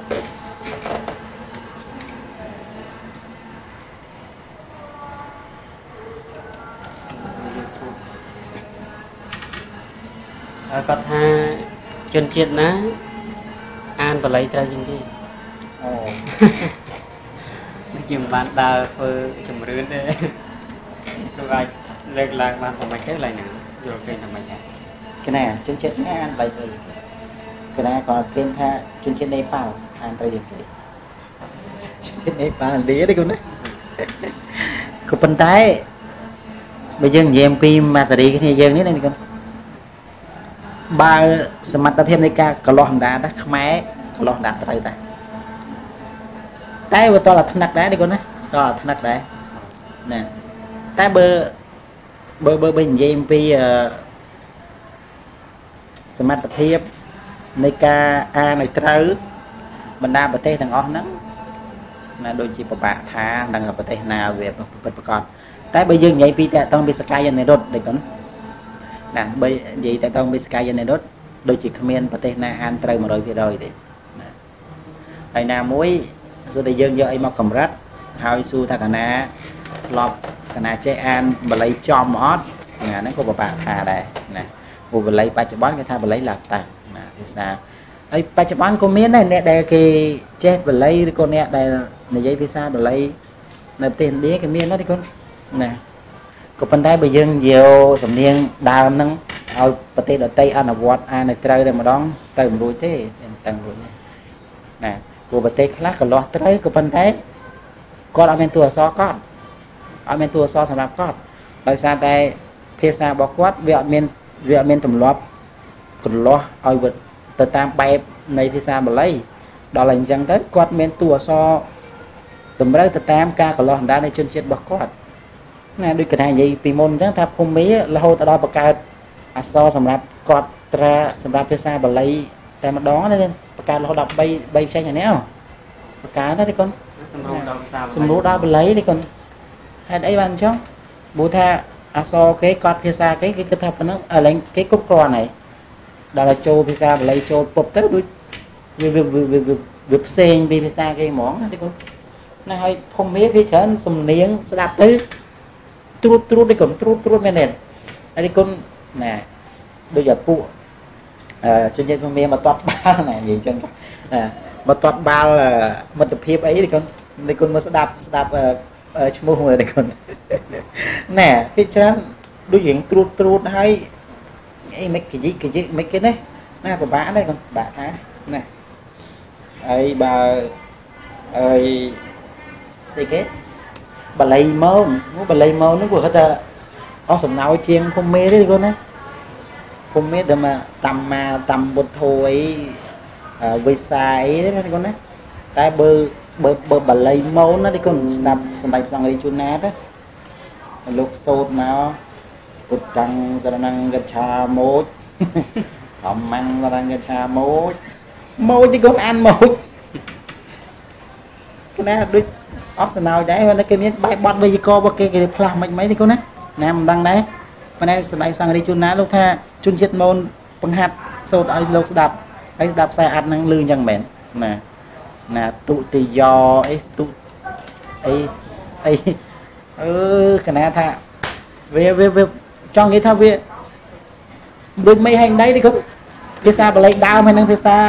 សកាយរត់របស់គេហ្នឹងវាដូចមេហែងដីណាអញ្ចឹង វាជាធ្លាប់ស្ដាប់ចំដែរណែតែគាត់ធ្លាប់ដែរកន្លែងហ្នឹងមកមកអឺប៉ុណ្ណឹងគ្រូណាណែណែណែអឺបន្តទៀតគាត់ថាឲ្យប្រសងទេអឹមកំសាន្តជួយសម្ព័ន្ធបល័យចូលភាសាទេអាចសម្ព័ន្ធទេបានបរិយាភាសាបើណែអត់ចាំហ្មងនេះវាមានមានពាក្យហ្នឹងដែរកាសអីម៉ាស់ម៉ងអាវ៉ាសេម៉ាំងទេមេសាសាទេនេះ ហ្នឹងតើតើយើងមានបល័យណែមានបរិយាក៏ណាត់ចាំផងអណែអាចប្រែបានអាចសម្ព័ន្ធបានដែរណែនេះគុណអ្នកសំណួរនេះគុណអាចសរសេរនេះមកទេគុណឥឡូវចាស់សំណួរចាំទៅណាអញ្ចឹងយើងឆ្លើយសំណួរខាងក្រោមទៅចាំមករកបល័យចូលសាយវុទ្ធានទេសនាបញ្យល់ពាក្យថាវត្តឋានទស្សនាហេកណាអើយជួយបញ្យល់ពាក្យ វុទ្ធានទេសនាហេកណាដែលគុណសួរនេះដែលគុណកម្រិតសិស្សហើយជាកម្រិតសិស្សអនុវិទ្យាល័យណាហើយអាចថ្នាក់ទី8ហើយប្រែមង្គលហ្នឹងគឺពងតែប្រែភាគ2ឯងមិនទៅមិនលោកសួរណាសំតាងដែរដែលគុណកន្លែងហ្នឹងកណាបានចេះព្រោះតើតោងពីព្រះវិន័យដែលគុណកន្លែងហ្នឹងណាណាតើតោងពីវិន័យមានអត្តមានសេចក្តីរបស់គេច្បាស់លាស់ណាវុទ្ធានវិធីនិងទេសនាវិធីនៃគុណគេប្រែថាដោយ វុទ្ធានវិធីនិងទេសនាវិធីទាំងឡាយគេប្រែឡើងហ្នឹងណាតែដែលគុណលោកចង់បានឲ្យយើងបញ្យល់តើវុទ្ធានវិធីជាស្អីទេសនាវិធីជាស្អីកណាកណាវុទ្ធានវិធីនិងទេសនាវិធី ជាវិធីដែលញ៉ាំងឲ្យភិក្ខុចេញចាកបាត់ណែញ៉ែទេកូនណាហើយកណាប្រកេន វុទ្ធានវិធីគឺសំដៅទៅលើការធ្វើបរិវាសកម្មវុទ្ធានវិធីទៀតណាការធ្វើបរិវាសកម្មតាមរយៈទោសដែលភិក្ខុប្រព្រឹត្តខុសក្នុងសង្ឃាទិសេសទាំង10 13ណាហ្នឹងហើយទៅតាមរយៈការកំណត់ដែលខ្លួនឯងបានប្រព្រឹត្តខុសនៅក្នុងសង្ឃាទិសេសហ្នឹងទៅណាប្រព្រឹត្តមានណាត់ 6រាត្រីអីចឹងទៅតាមសង្ឃកម្មអីចឹងណាកូនណាទីកូនជួយមើលលំអិតឲ្យហ្នឹងទៀតទៅកណាហើយកណាកូនទៅបញ្យល់អញ្ចឹងចុះទេសនាវិធីជាស្អីទេសនាវិធីជាការសម្ដែងនៅបាត់សម្ដែងនៅបាត់ហ្នឹងមានមានមិនសម្ដែងតាមរយៈបុគ្គលសម្ដែងតាមរយៈគណៈសម្ដែងក្នុងចំណោមសង្ឃណាទេកូនណាហើយទេសនាវិធីគេអាចកំចាត់បងឬក៏សម្ដែងដាច់នៅអបត្តិអបត្តិប្រមាណកងនេះគុណអបត្តិ 5កងនេះគុណណែរាប់ចាប់ពីធុលច័យមកណែរាប់ចាប់ពីធុលច័យចុះក្រមកនឹងឯងគេប្រើតាមរយៈទេសនាវិធីទេសនាវិធីគឺការសម្ដែងគឺការសម្ដែងអបត្តិណែសម្ដែងអបត្តិដូចគុណណែធ្លាប់ឃើញវិខុសម្ដែងអបត្តិហ្នឹងណាសូត្រអីណាតាមដាប់ដោយហ្នឹងទៅការសព្វាតាបត្តិយោរោចេមិឯណាប្រងពេលហ្នឹងគាត់ណាចង់ផ្លេចឲ្យទេគាត់ណាអញ្ចឹងវុទ្ធានវិធី គឺការកំចាត់បងនៅអាបត្តិអឺ សង្ឃាទិសេសមានន័យថាការសំការចូលបរិវាសកម្មណាវុទ្ធានវិធីគឺការបរិវាសកម្មណាដល់អទេសនាវិធីគឺការសំដែងអាបត្តិណាអញ្ចឹងនេះគាត់ណាប៉ុណ្ណឹងចុះគាត់គ្រូមើលឃើញហ្នឹងកន្លែងអូយ៉ាងតូចទេគាត់ណាកណាអាចអីមើលមើលក្នុងអូខេអើយអ៊ីម៉ាស្ម៉ង អាវ៉ាសេអ៊ីម៉ាំងតេមេសាំងតេមេសាំងជាប់គ្នាតេមេសាំងវ៉ាសាំងឧបេឧបេមេឧបេមីណាមានន័យថាមួយយ៉ាងរីយើងទាំងឡាយកណាឧបេមៈកណាចូលទៅណាឬក៏ចូលទៅចិត្តណាឬក៏ចូលទៅកាន់ណាចូលទៅក៏បានដែរចូលទៅចិត្តក៏បានណាបង្អោនទៅក៏បានដែរណាវសាំងកាន់វសា ទេមេសាំងអស់ខែ3កណាអ៊ីម៉ាំងនេះអាវ៉ាសេក្នុងអាវ៉ាអ៊ីម៉ាស្មាំងនេះហើយគេសម្ព័ន្ធគេសម្ព័ន្ធថាអ៊ីម៉ាស្មាំងសេសនារវ៉ាវ៉ាសេអាវ៉ាសេវេស័យកាធិរៈក្នុងឧបេមៈអ៊ីម៉ាំងសេសនារទេមេសាំងទេមេសាំងអចារ្យសាំងយកនៅក្នុងឧបេមៈណាវសាំងណាសម្បាបនិយកម្មៈក្នុងឧបេមៈមកឧបេមៈអឺ មួយយ៉ាងសយកតាក្នុងឧបេមៈឧបេមៈខ្ចត់បត់កាយវិកៈណាអស់ហើយមានអីទៀតឧកាឧកាសាំងប្រែថាសូមណាសូមហ្នឹងបើយើងប្រើនៅក្នុងអលបណៈវាជាសភារយលបណៈណាមានអ្នកទៅសេបល័យឲ្យតាមភាសាអស់ហើយគុណណាសម្ព័ន្ធណាប្រែប្រកេនោះហើយណាហ្នឹងហើយបើសិនជាមិនតន់យល់ត្រង់ណាយអាចសួរបន្ថែមបាន ណាណាទៀតណាណាអាហាងមើលយើងដាក់មិចអាឡើងអាហាងណាប្រធានរបស់វិញគឺឡើងអាហាងអាហាងរីខ្ញុំឧបេមៈសូមបង្អោនណាហើយសូមបង្អោនមែនតើនៅឱកាសៈហ្នឹងវាជាពាក្យនិបាតដែលប្រើសម្សម្រាប់ភ្ជាប់ឲ្យបញ្ជាក់អំពីការលំអោនទេអំពីការគោរពទេគុណឱកាសៈហ្នឹងណាអំពីការគោរពណាក្នុងលក្ខណៈជាសក្គារវិលបណៈអាហ្នឹងណាឯគុណណា ដល់អាហាងហ្នឹងសយកតាក្នុងឧបេមិណៃម៉ាស្មងសេសនារបស់វាសេវាសេវេសាយិកាធិរៈក្នុងឧបេមិអ៊ីម៉ាំងសេសនារបស់ទេមេសាំងទេមេសាចាន់សាំងយកក្នុងអឺឧបេមិកណាហាងសាវាល័យកម្មៈអមិនវៃសាំងសម្បាវល័យកម្មៈក្នុងឧបេមិពេមិខ្ចាត់បត់កលវិកៈណាអស់ហើយនេះកូនមិនមានអីទៀតទេដេគុណបូរីសូឡូណា តើដេគុណដែលយល់យ៉ាងណាដែរឬក៏មានការខ្វះខាតអីកន្លែងណាដេគុណអាចសួរបញ្ជាក់បន្ថែមទៀតបានទេតើតើអំពីវុទ្ធានវិធីនិងទេសនាវិធីកណែកណែរៀនអានឹងច្បាស់ជាមួយនឹងនេះដែរដេគុណជាមួយលោកគ្រូគួរសរិទ្ធតានឹងការរៀននៅគ្រូសល់ដេគុណលោកពយល់ហ្នឹងច្បាស់ហ្មងអាពាក្យទេសនាវិធីវុទ្ធានវិធីហ្នឹងរៀនធ្លាប់ជួលកំពីប្រែរង្គលខាងពីអនុវិទ្យាល័យអត់យល់ដល់លោកបង្ហើបមកអូអញ្ចឹងទេណាចេះពីកន្លែងហ្នឹងណាអឺ នៅនៅក្នុង YouTube គ្រូគាត់ឈ្មោះលីណាថាច់កម្ពុជាក្រមដែរណាគ្រូអូហ្នឹងហើយហ្នឹងហើយកម្ពុជាក្រមមើលច្រើនច្រើននេះគាត់កម្ពុជាក្រមគាត់បើជាងយើងហ្នឹងអឺគាត់សួរថាស្រៈណាខ្លះអាចផ្លាស់ជាផ្សេងជាជាអ្នកបាទអូស្រៈដែលអាចផ្លាស់ជាផ្សេងជាអ្នកបានបើតាមខ្ញុំសង្កេតជាស្រៈដែលប្រើវិការៈសត្វដែលប្រើវិការៈនោះវាមានអ៊ីហើយនឹងអេអ៊ូហើយនឹងណា ចាំមើលណាអ៊ីអេនេះក៏ផ្លាស់បានដែរណាអ៊ីអេនេះក៏ផ្លាស់បានដែរនៅក្នុងរូបសិទ្ធអឺនៃវិធីផ្លាស់ពួកធាតគេថាស្រៈដែលជាប់ស្រៈអ៊ីឬស្រៈអ៊ីនេះស្រៈតូលឯគុណណាអត់ថាស្រៈតូធាតតូលដែលជាប់ដោយស្រៈអ៊ីឬស្រៈអ៊ីឲ្យផ្លាស់អ៊ីឬអ៊ីនោះជាអេផ្លាស់អេនោះទៅជាអអយៈអញ្ចឹងវាផ្លាស់តាមដាប់ដោយណាទេកូនណែអញ្ចឹងបើយើងនិយាយថាតើ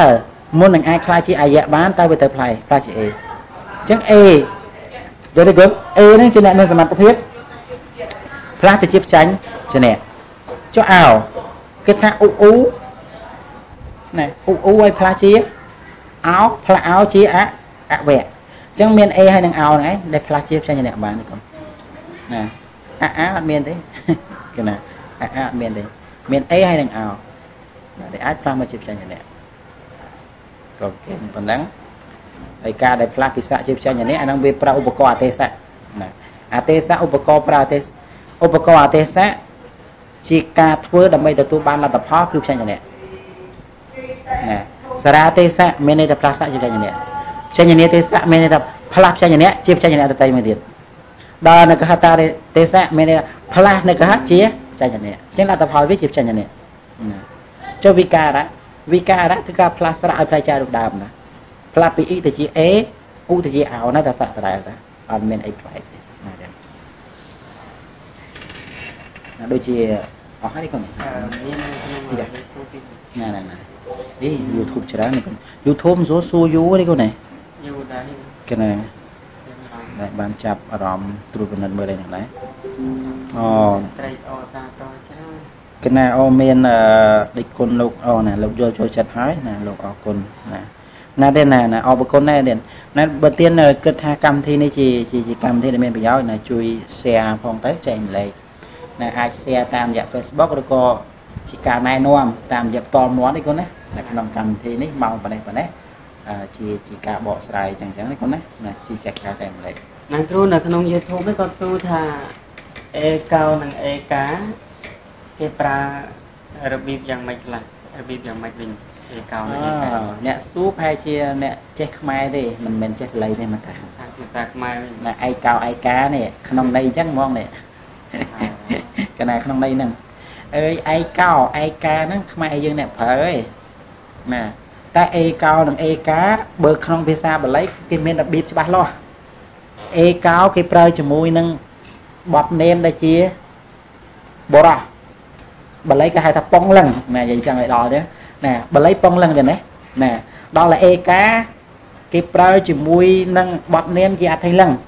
អេកាអត្ថិរីស្ត្រីម្នាក់អេកោបកឡូរីបកលម្នាក់អញ្ចឹងណាកូនដល់តែខ្មែរយើងយកឯកោឯកាយកមកប្រើខ្មែរយើងអត់មានកំណត់លឹងទេអញ្ចឹងប្រើមួយណាក៏បានដែរ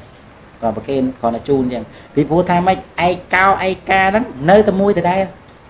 ចឹងឯងឯកោគាត់ឯងនៅតែឯង អ្នកណាឯកោក៏នៅតែឯងដែរហើយខ្មែរយើងគ្មានលឹងទេតែអញ្ចឹងមិនបាច់មិនបាច់ប្រើអីណាពេលណាអីពេលណាទេតែបើតាមបល័យច្បាស់លាស់អេកោប្រើសម្រាប់មនុស្សប្រុសម្នាក់តែអេកាសម្រាប់មនុស្សស្រីម្នាក់អញ្ចឹងចុះណាបោះស្រាយខ្លីអញ្ចឹងទេហើយគូមួយទៀតក៏សួរថាហេតុស័ព្ទអាចសម្ព័ន្ធថាអនុសវនថវិជ្ជកបានដែរឬទេអូហេតុស័ព្ទនេះទេគុណណា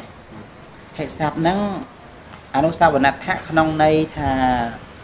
បានលើមកថាក្រៈណាមើលស័ព្ទដែលសម្ព័ន្ធថាអនុសាវនដ្ឋៈគេដល់សួរអញ្ចឹងដូចជាប្រាំងនេះកូនប្រាំងដោយសារវាអាចច្រឡំតែហេវាអាចប្រែបានសេចក្តីពិស្ដារថាអីចឹងណាកូនអាចទៅជាវត្ថាចោតកៈណា ដល់អនុសាវនដ្ឋៈវាអាចមានចំណុចខ្លះខ្វះខាតនេះកូនណាដូចជាមាននេះកូនឡើងហ្នឹងមាននេះដូចកិរៈហ្នឹងមានណាកិរៈតោអីចឹងមែនមានណាណាណាចាំណាចាំមើលបើណាណាបញ្ជាក់ហើយចាំខ្ញុំស្រាវជ្រាវបន្ថែមបញ្ជាក់លេងទៀតណាណាឥឡូវនៅក្នុង Facebook វិញសួរថាលោកគ្រូជួយបញ្យល់ពាក្យថាសីមា ផងតើមកពីធាតុអ្វីវិច័យអ្វីអូសីមាហ្នឹងឯងកូនណាសីមាហ្នឹងគេថាចងណាសិធាតទេកូនសិចោណាសិធាតមគ្គបច្ច័យតាណាហើយអាចឲ្យឡើងនេះហ្នឹងហើយគេថាចងចងសីមាអាហ្នឹងសីមាហ្នឹងសីមាសីមាដែលគេយកនិយាយហ្នឹងណាតាមពិតអាហ្នឹងអឺសិធាតឯងតែថាចងមគ្គបច្ច័យណាហើយគេមិនទេកូនតែថាចងហើយ ចូល YouTube វិញ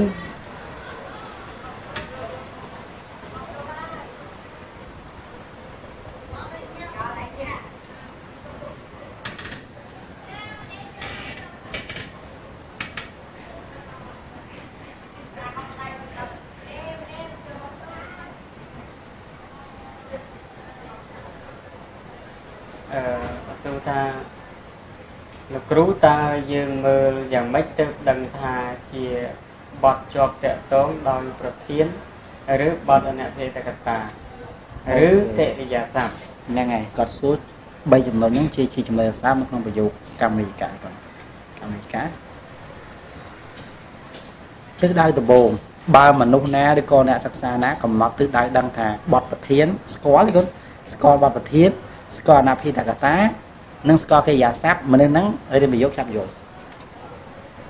អញ្ចឹងឥឡូវទី1យើងកំណត់គោល3នេះច្បាស់ទេណាដំបកគោលគោល3នេះច្បាស់បន្ទាប់មកយើងកំណត់ចេះឧទាហរណ៍យើងនិយាយពីប្រធានមុនបត់ណាដែលសរសេរខាងដើមប្រធានបត់ណាដែលសរសេរខាងដើមប្រធានបត់ហ្នឹងជាបត់ពាក់ព័ន្ធប្រធានมันអាចកំណត់ថាតើវាមានវិផលអីខ្លះទេអត់មានកំណត់ណានិយាយចំបងនេះកុំណាចុះបត់ពាក់ព័ន្ធមានអនាភិតាបត់ណាដែលសរសេរខាងដើមនៃអនាភិតកតា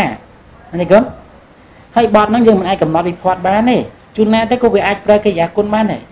ណាគ្រប់យ៉ាងគ្រប់បែបយ៉ាងទាំងអស់ណា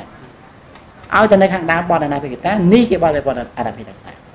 ចុះបត់ពាក់ព័ន្ធកិរិយាសព្ទបត់នៅមុខកិរិយាសព្ទបត់ណាដែលរៀងនៅក្នុងចន្លោះនៅខាងមុខកិរិយាសព្ទបត់ហ្នឹងជាបត់ពាក់ព័ន្ធនៃកិរិយាសព្ទប៉ុណ្ណាណាអត់មានពិបាកទេណាតែក៏ប្រកេនទេដូចលោកសួរដូចគាត់ដូចលោកសួរអញ្ចឹងថាប្រធានអនាភិកតា កិរិយាសព្ទដែលវាពាក់ព័ន្ធនៅក្នុងប្រយោគតាមវិជ្ជាបើលោកកំណត់ច្បាស់លាស់នៅកន្លែងហ្នឹងកំណត់ទីតាំងនៅកន្លែងហ្នឹងហើយអញ្ចឹងលោកអាចដឹងតើតងពីចំណុចចាប់ដើមខាងដើមនៃប្រធានខាងដើមនៃអនាភិកតានិងខាងដើមនៃកិរិយាសព្ទកណាហ្នឹងប្រកបពីបានហើយអត់បញ្ហាទេគាត់តែគាត់គឺនៅខាងដើមអឺនៅក្នុងនេះលោកគ្រូគាត់លោកគ្រូឯនឹងថាហើយជាអ្នកចេះបល័យដែរគ្រូណាគាត់ថាខ្មែរ មានលឹងប៉ុន្តែពាក្យប្រើនៅក្នុងភាសាខ្មែរអត់មានលឹងទេខ្មែរមានលឹងតែពាក្យប្រើក្នុងភាសាខ្មែរអត់មានលឹងទេបល័យទេគាត់ចង់និយាយថាបល័យអមានលឹងឺនេះលោកពូកណាគាត់អាសាស៊ូបល័យកណាដែរគាត់អឺគាត់មិនមែនសាសរៀនសាលាបល័យនេះទេប៉ុន្តែគាត់ស្រាវជ្រាវបល័យអូណាគាត់ស្រាវជ្រាវបល័យ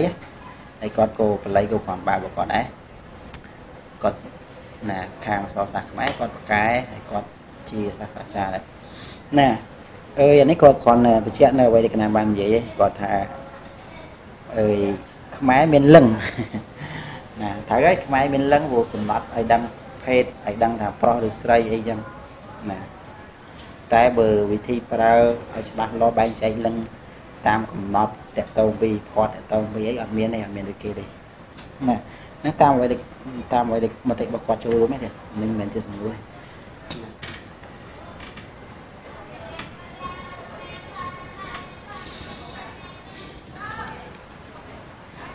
ដូចជា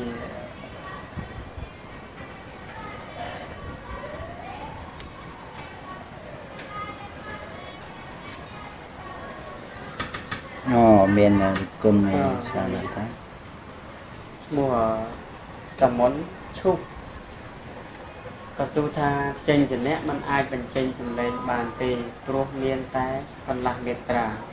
ចំណែកស្រៈរស័កមានសម្លេង1មេត្រាស្រៈពិខៈមានសម្លេង2មេត្រាអូហ្នឹងបើយើងគាត់ចង់គាត់ចេះហើយគាត់គាត់ចង់ចូលរួមទេគុណតែគាត់ណាចង់បញ្ជាក់ថាបើប្រហាត់សិលបឋមមើលកំណត់អញ្ចឹងលោកអត់យល់ទេណាគាត់ណាកេនអញ្ចឹងគាត់ តែបើបើបើបើយើងនិយាយតកតងពីមេត្រាមេត្រាហ្នឹងពាក់ព័ន្ធពីឆានគាត់ពាក់ព័ន្ធពីឆានអីច្បាស់លាស់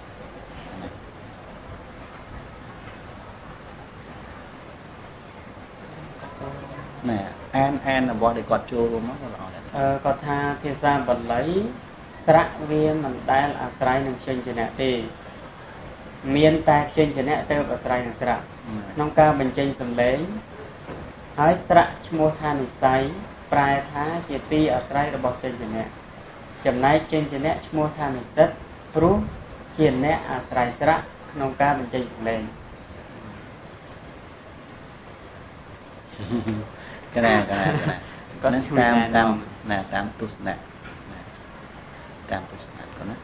គាត់ចូលចូលរួមជាក់ហើយគាត់លើកឡើងហ្នឹងមិនដែរគឺត្រឹមត្រូវណាស្បត្រឹមអាហ្នឹងវាត្រឹមត្រូវស្របណាស្របទៅណាអត់មានអីជាការខុសឆ្គង ក្រោយ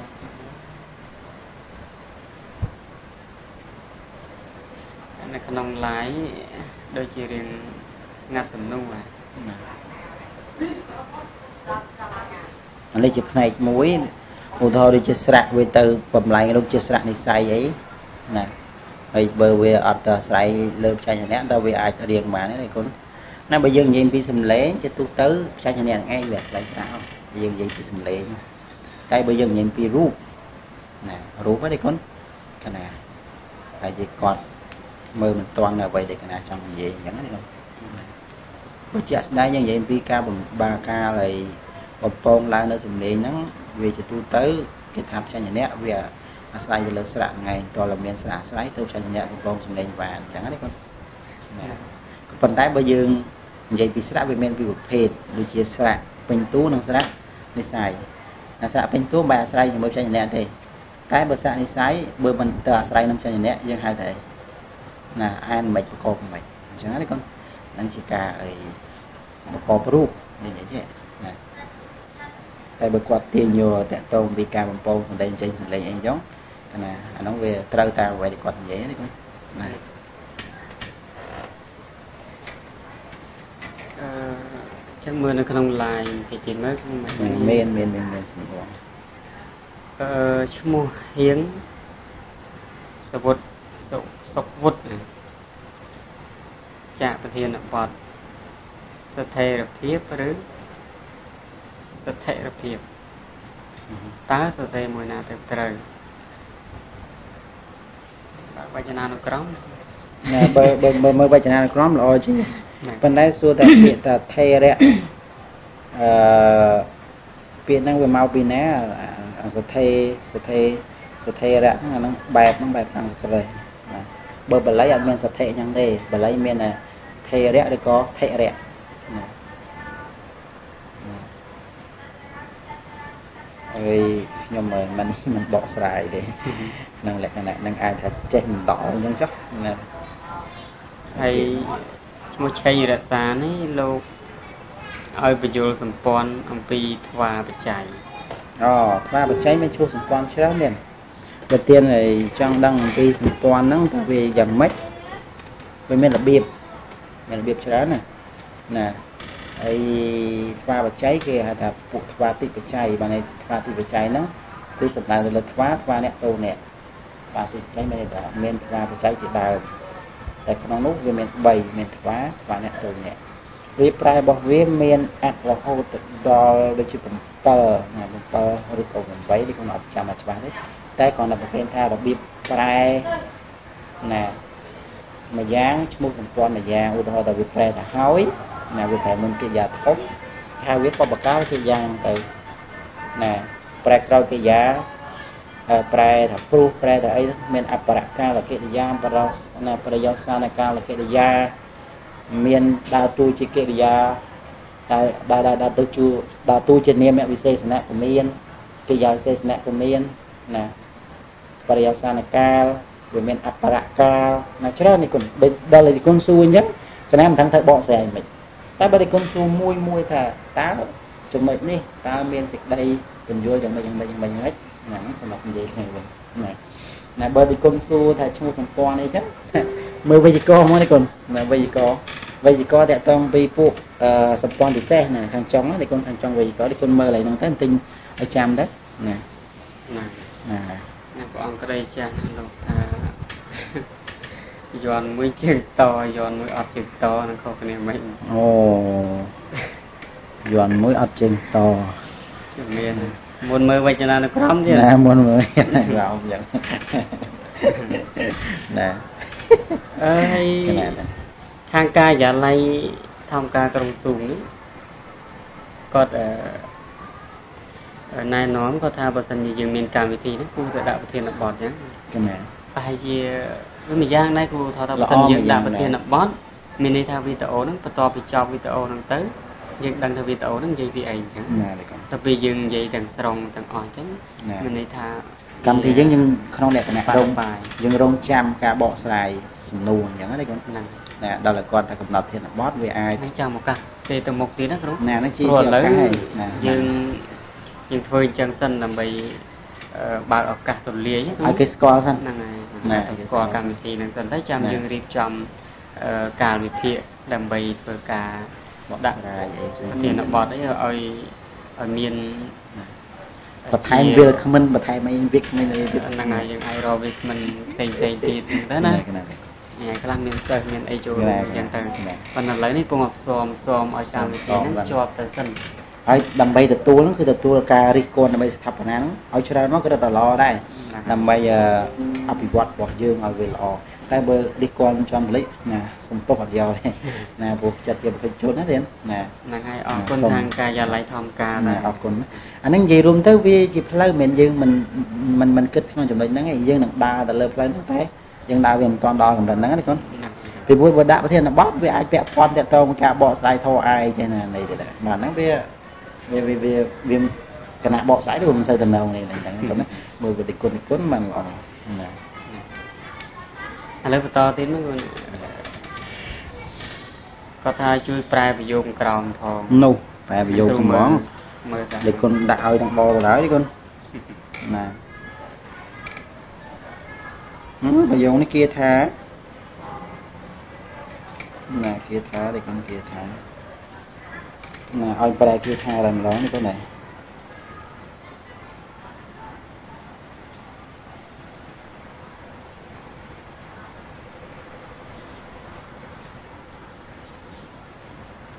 ណា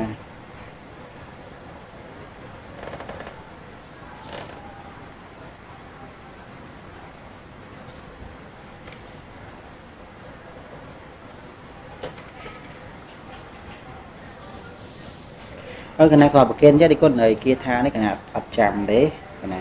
ហើយដោយសារតែអត់ចាំអាត់គាថានេះមានអាត់ច្រើនទីគុណមានអាត់ច្រើន បើទីគុណចង់បានចាំកណាប្រែលោកយកប្រកេនបន្ទាប់ពីកណាមើលអាត់ប្រកេនព្រោះថាគាថាមិនមិនលុំលុំទេគុណណាប្រែខុសមានន័យថា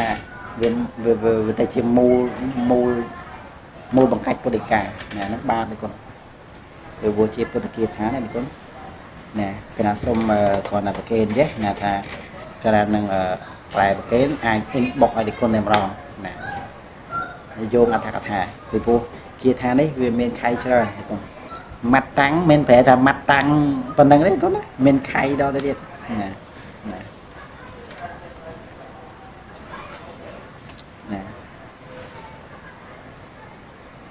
ណាចាណែក្នុងស័ព្ទទាំងអស់នេះគឺថាអត់មានអត់មានកន្លែងថាអត់ចេះទេកូនគេថាតែប្រាប់ចេញទេដោយសារតែពាក្យទាំងអស់ហ្នឹងសិប្រកបនៃសាខៃនៅក្នុងអត្ថកថាលោកខៃឲ្យ ណាតយើងមើលអត្ថកថាទៀតបានហើយផែទៅកើតណាខ្លាចខុសទេកូនណាខ្លាចខុសណាជាស្រ័យឯកណានឹងឲ្យប្រែប្រកេតនេះកូន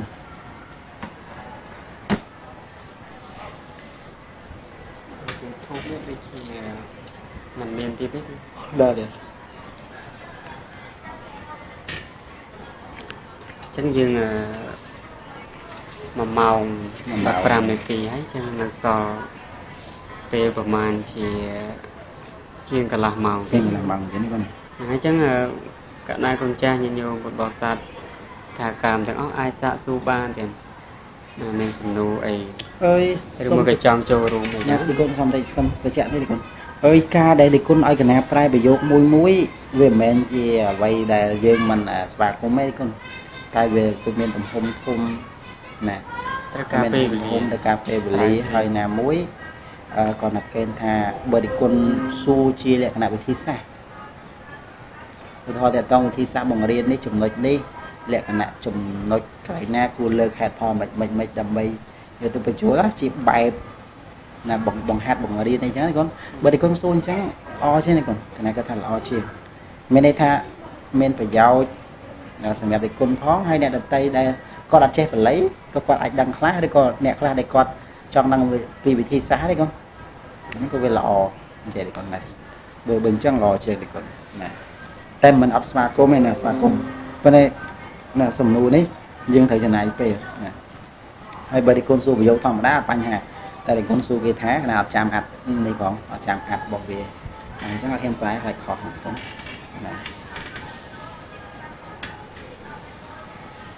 អាហ្នឹងតត្រង់ពីការសន្សំបនសន្សំអីនេះគុំដូចជានៅក្នុងអើយបាក់វៈដូចជាប្រែដូចប្រែប៉ះហើយដូចប្រែឲ្យសិស្សហើយហើយហ្នឹងតែជាទូទៅគេថាណាវាសោយត្រង់ការអត់ចាំអត់ចាំគេថា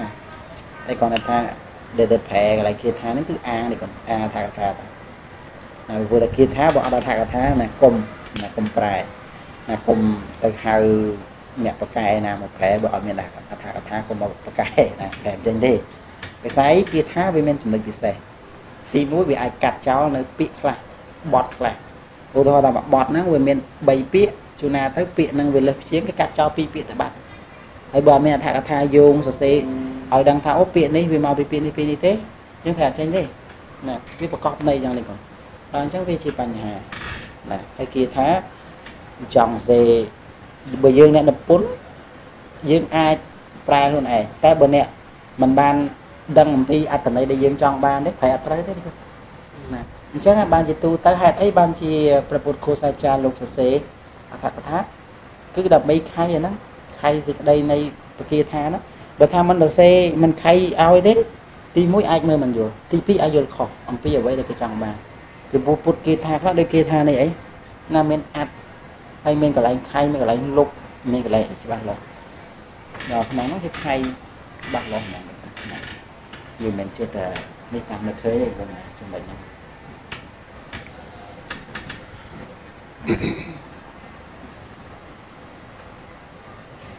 អឺឥឡូវយើង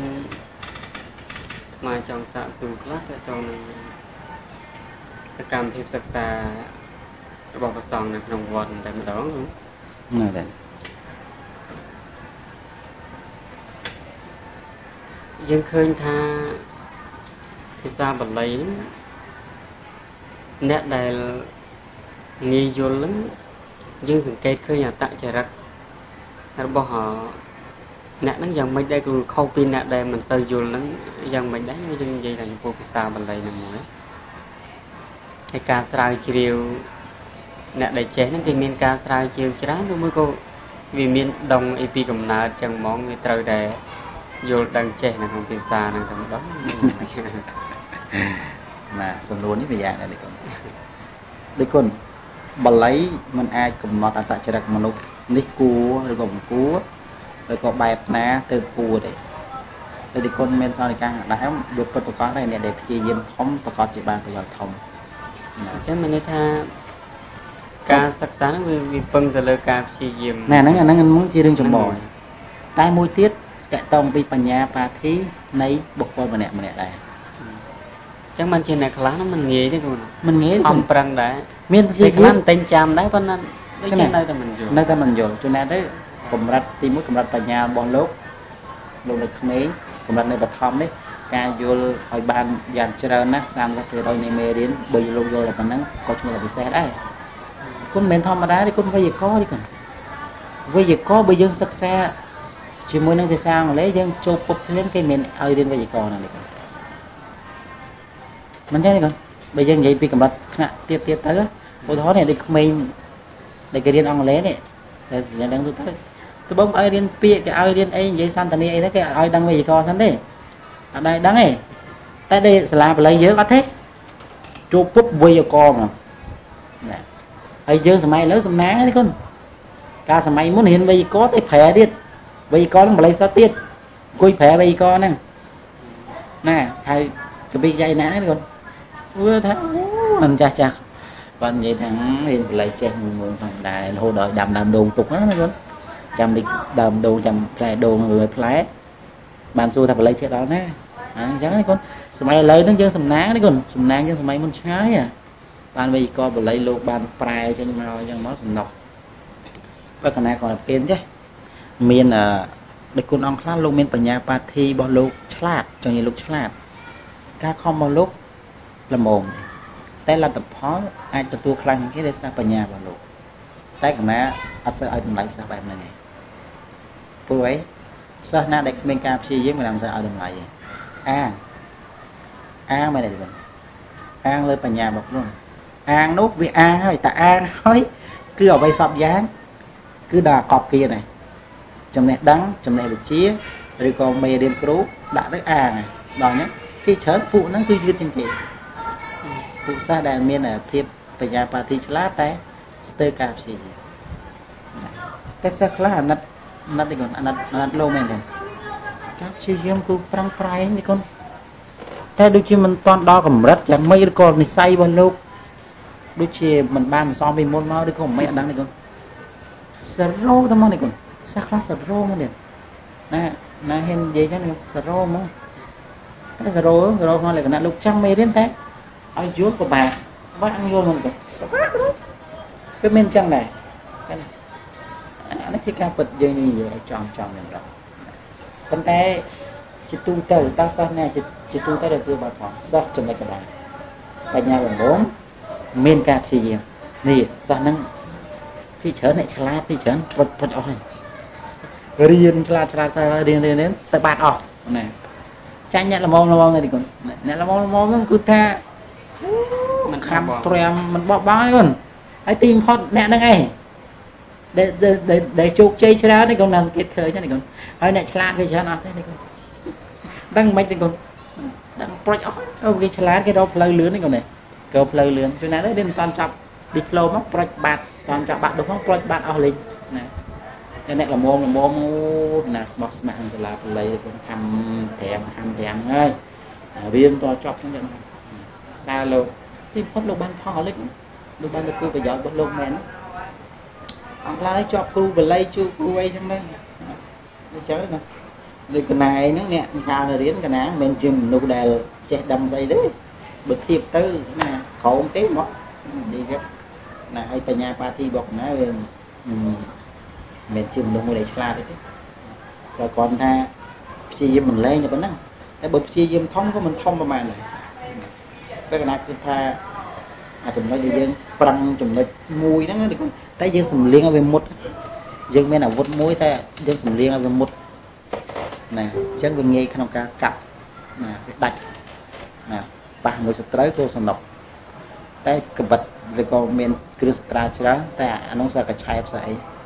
បាទហើយកណារងថ្ងៃណាកណាគិតតាមតាំងមួយគាត់ថាឲ្យចេះប្រកបប្រើតាមហៅទេគាត់ណាអត់ដែរខ្វល់គាត់ថាទីផ្សារបល័យមិនអត់ដែរខ្វល់ទេទី1គឺឆន្ទៈគឺការស្រឡាញ់ហ្នឹងជារឿងមួយរឿងទី2គឺកតញ្ញូគឺតកតងពីចង់ជួយសាសនានេះវិញសាសនានេះបានផ្ដល់ចំណេះឲ្យកណាប៉ុណ្ណេះបានផ្ដល់លទ្ធភាពឲ្យកណាមាន ការបង្កើតជីវភាពបានប៉ុណ្ណេះអត់កាត់ចេញពីសាសនា ជាងកណារងថ្ងៃកណាតែពោលញ៉េជួយបានចេះតែជួយទៅចឹងនិយាយថានៅពេលនេះអាចជួយបានយើងជួយតាមសមត្ថភាពយើងទៅហើយលូនតិចតិចយើងលែងបានជួយទៅមិនទៅណាតិចតិចទៅមានគ្រួសារមានអីទៅឬក៏មានបញ្ហាអីដែលយើងមើលមិនឃើញជួយបានតោះយើងជួយកាត់ហើយគ្រូខ្លះឬក៏អ្នកខ្លះទីក្រុមសហការីខ្លះពេបជ្រាយអញ្ចឹងណាអូយបានតែដំបងនេះបានតែមួយខែដំបងដល់ឥឡូវកណាប្រហាត់ជួយប្រហាត់លោកប្រហាត់អីហ្នឹង នៅសាលាមរតហ្នឹងណា2 3ខែបានហ្នឹងណាលោកនៅរៀនណាមួយថ្នាក់បាន4 10អង្គ4 10អង្គដែរណាហ្នឹងវាជារឿងមួយដែលកណាជួយណាហើយចំណុចមួយគិតថាបើបើសិនបើចែកចំណេះចំណេះដឹងទៅ10អង្គញ៉ាអត់ណាក៏មានមួយអង្គនេះគាត់បានមួយដែរហើយមួយហ្នឹងលោកទៅ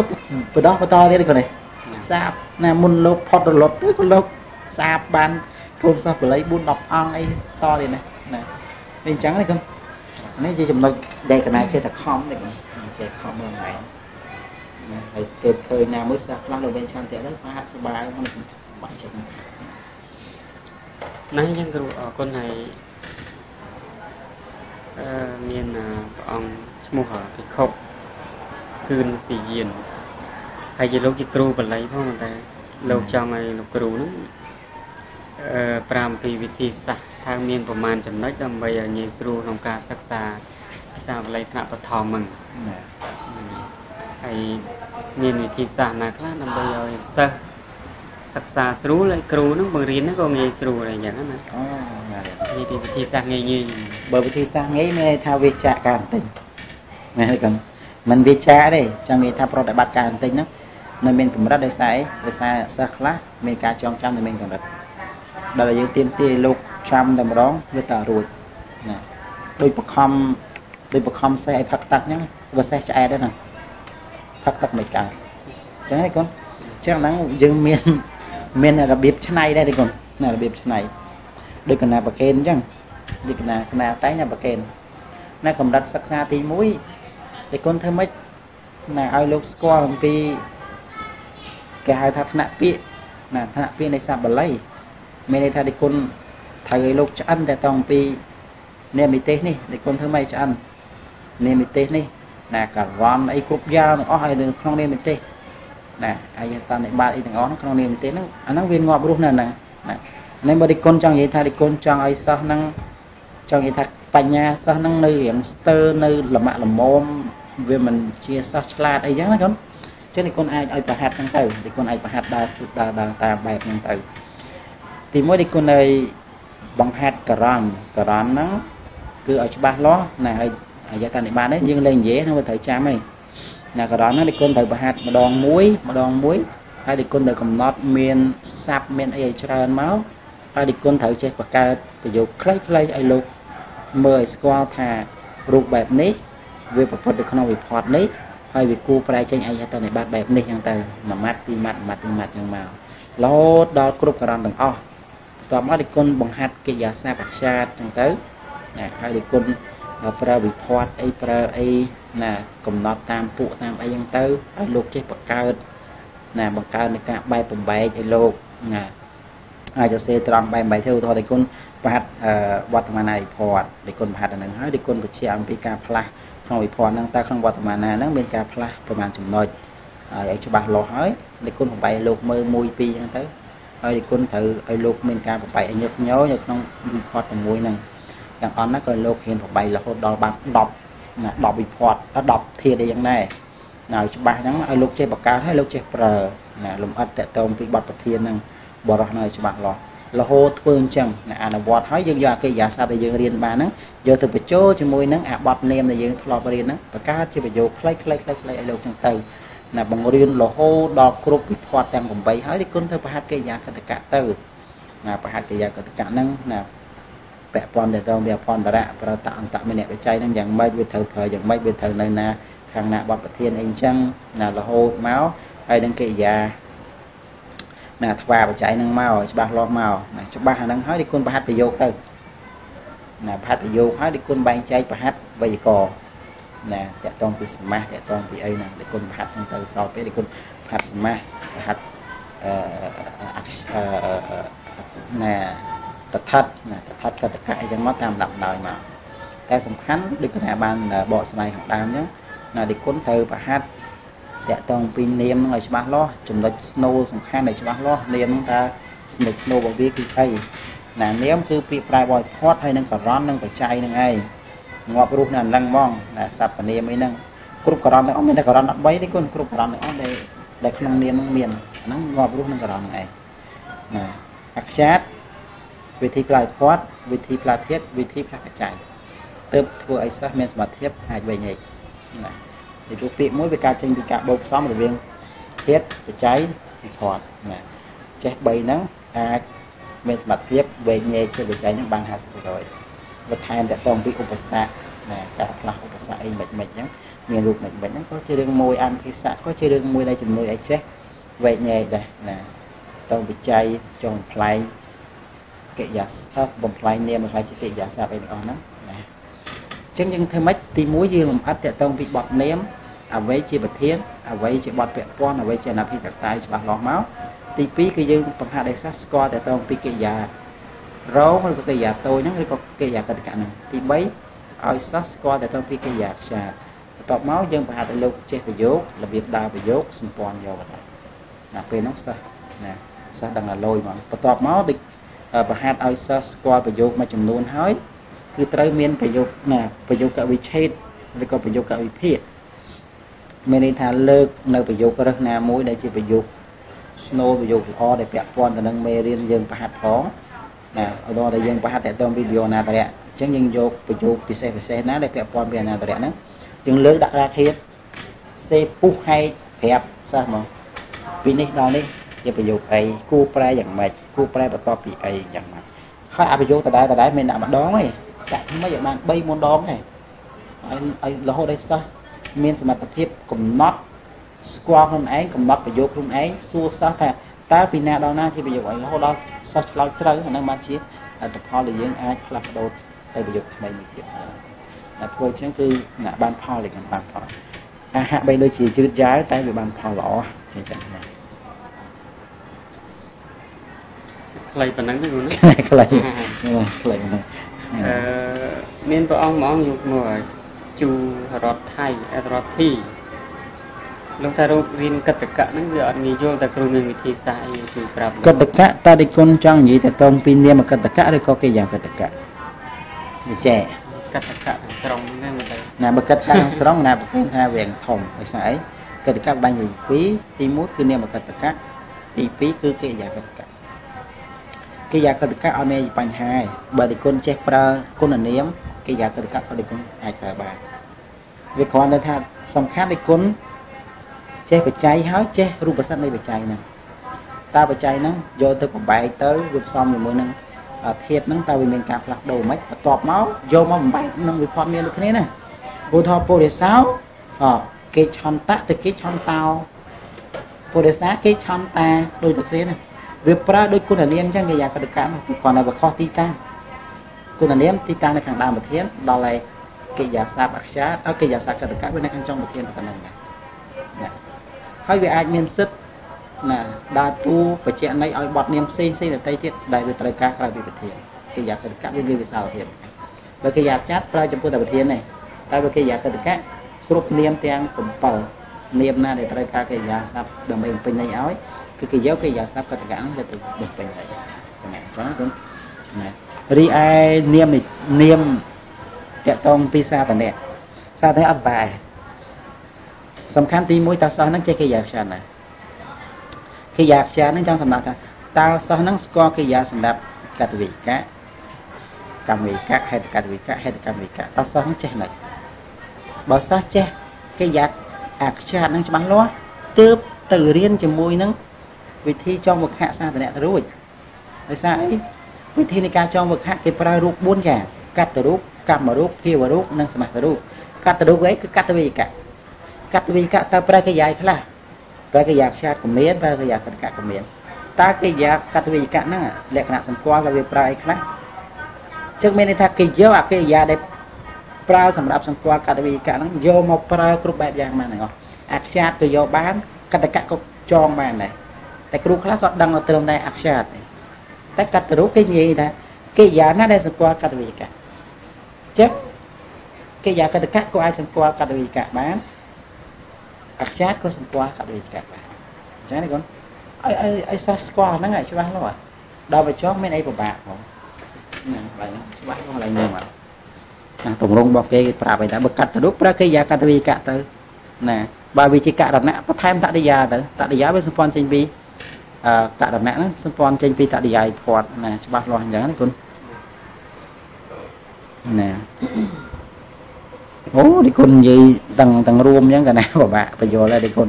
ណាគ្រាន់តែប្រកេនថាបើឌីគុណអត់ជួលនាមនាមកតកៈបានន័យថាឌីគុណស្ទើស្ទើអខ្យាតឌីគុណស្ទើអខ្យាតនេះជាការពិត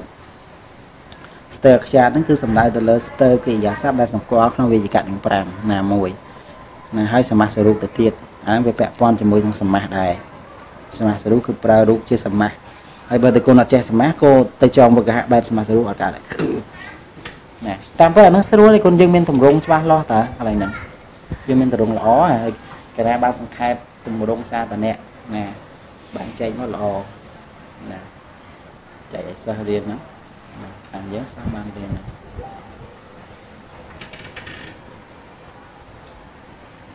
ណាណាដែរចិត្តដល់មកណាណាចិត្តដល់ម៉ោងហើយណា នេះយើងនិយាយច្រើនដែរហ្នឹងណាមួយម៉ោងមួយម៉ោងកន្លះនេះទៅណាមួយម៉ោងកន្លះដូចជាមិនមានអីទៀតទេមកណាណានេះកូនណាណាវាវាអាស្រ័យគ្នានេះកូនវាអាស្រ័យគ្នាវាអាស្រ័យគ្នា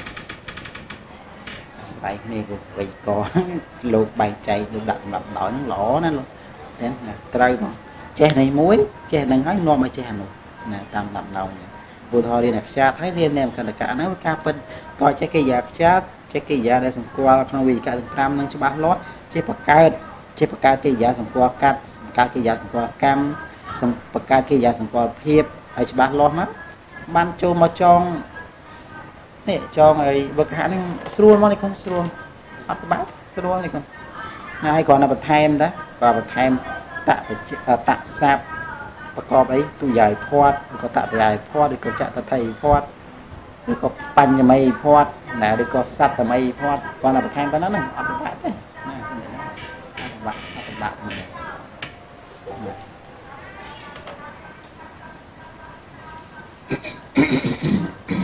ចៃចុះក្នុងពុធាតអីមិនមិនបច្ច័យធាតនេះត្រូវក្នុងពុធាតណា មានបច្ច័យណាចុះជាមួយហ្នឹងគឺលំអិតនៅក្នុងអក្សរហ្នឹង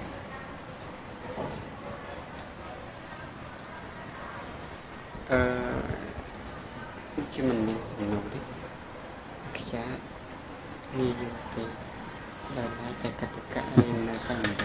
ងណាហើយបើតិគុណមករៀនមួយកណាណាបើតិគុណច្បាស់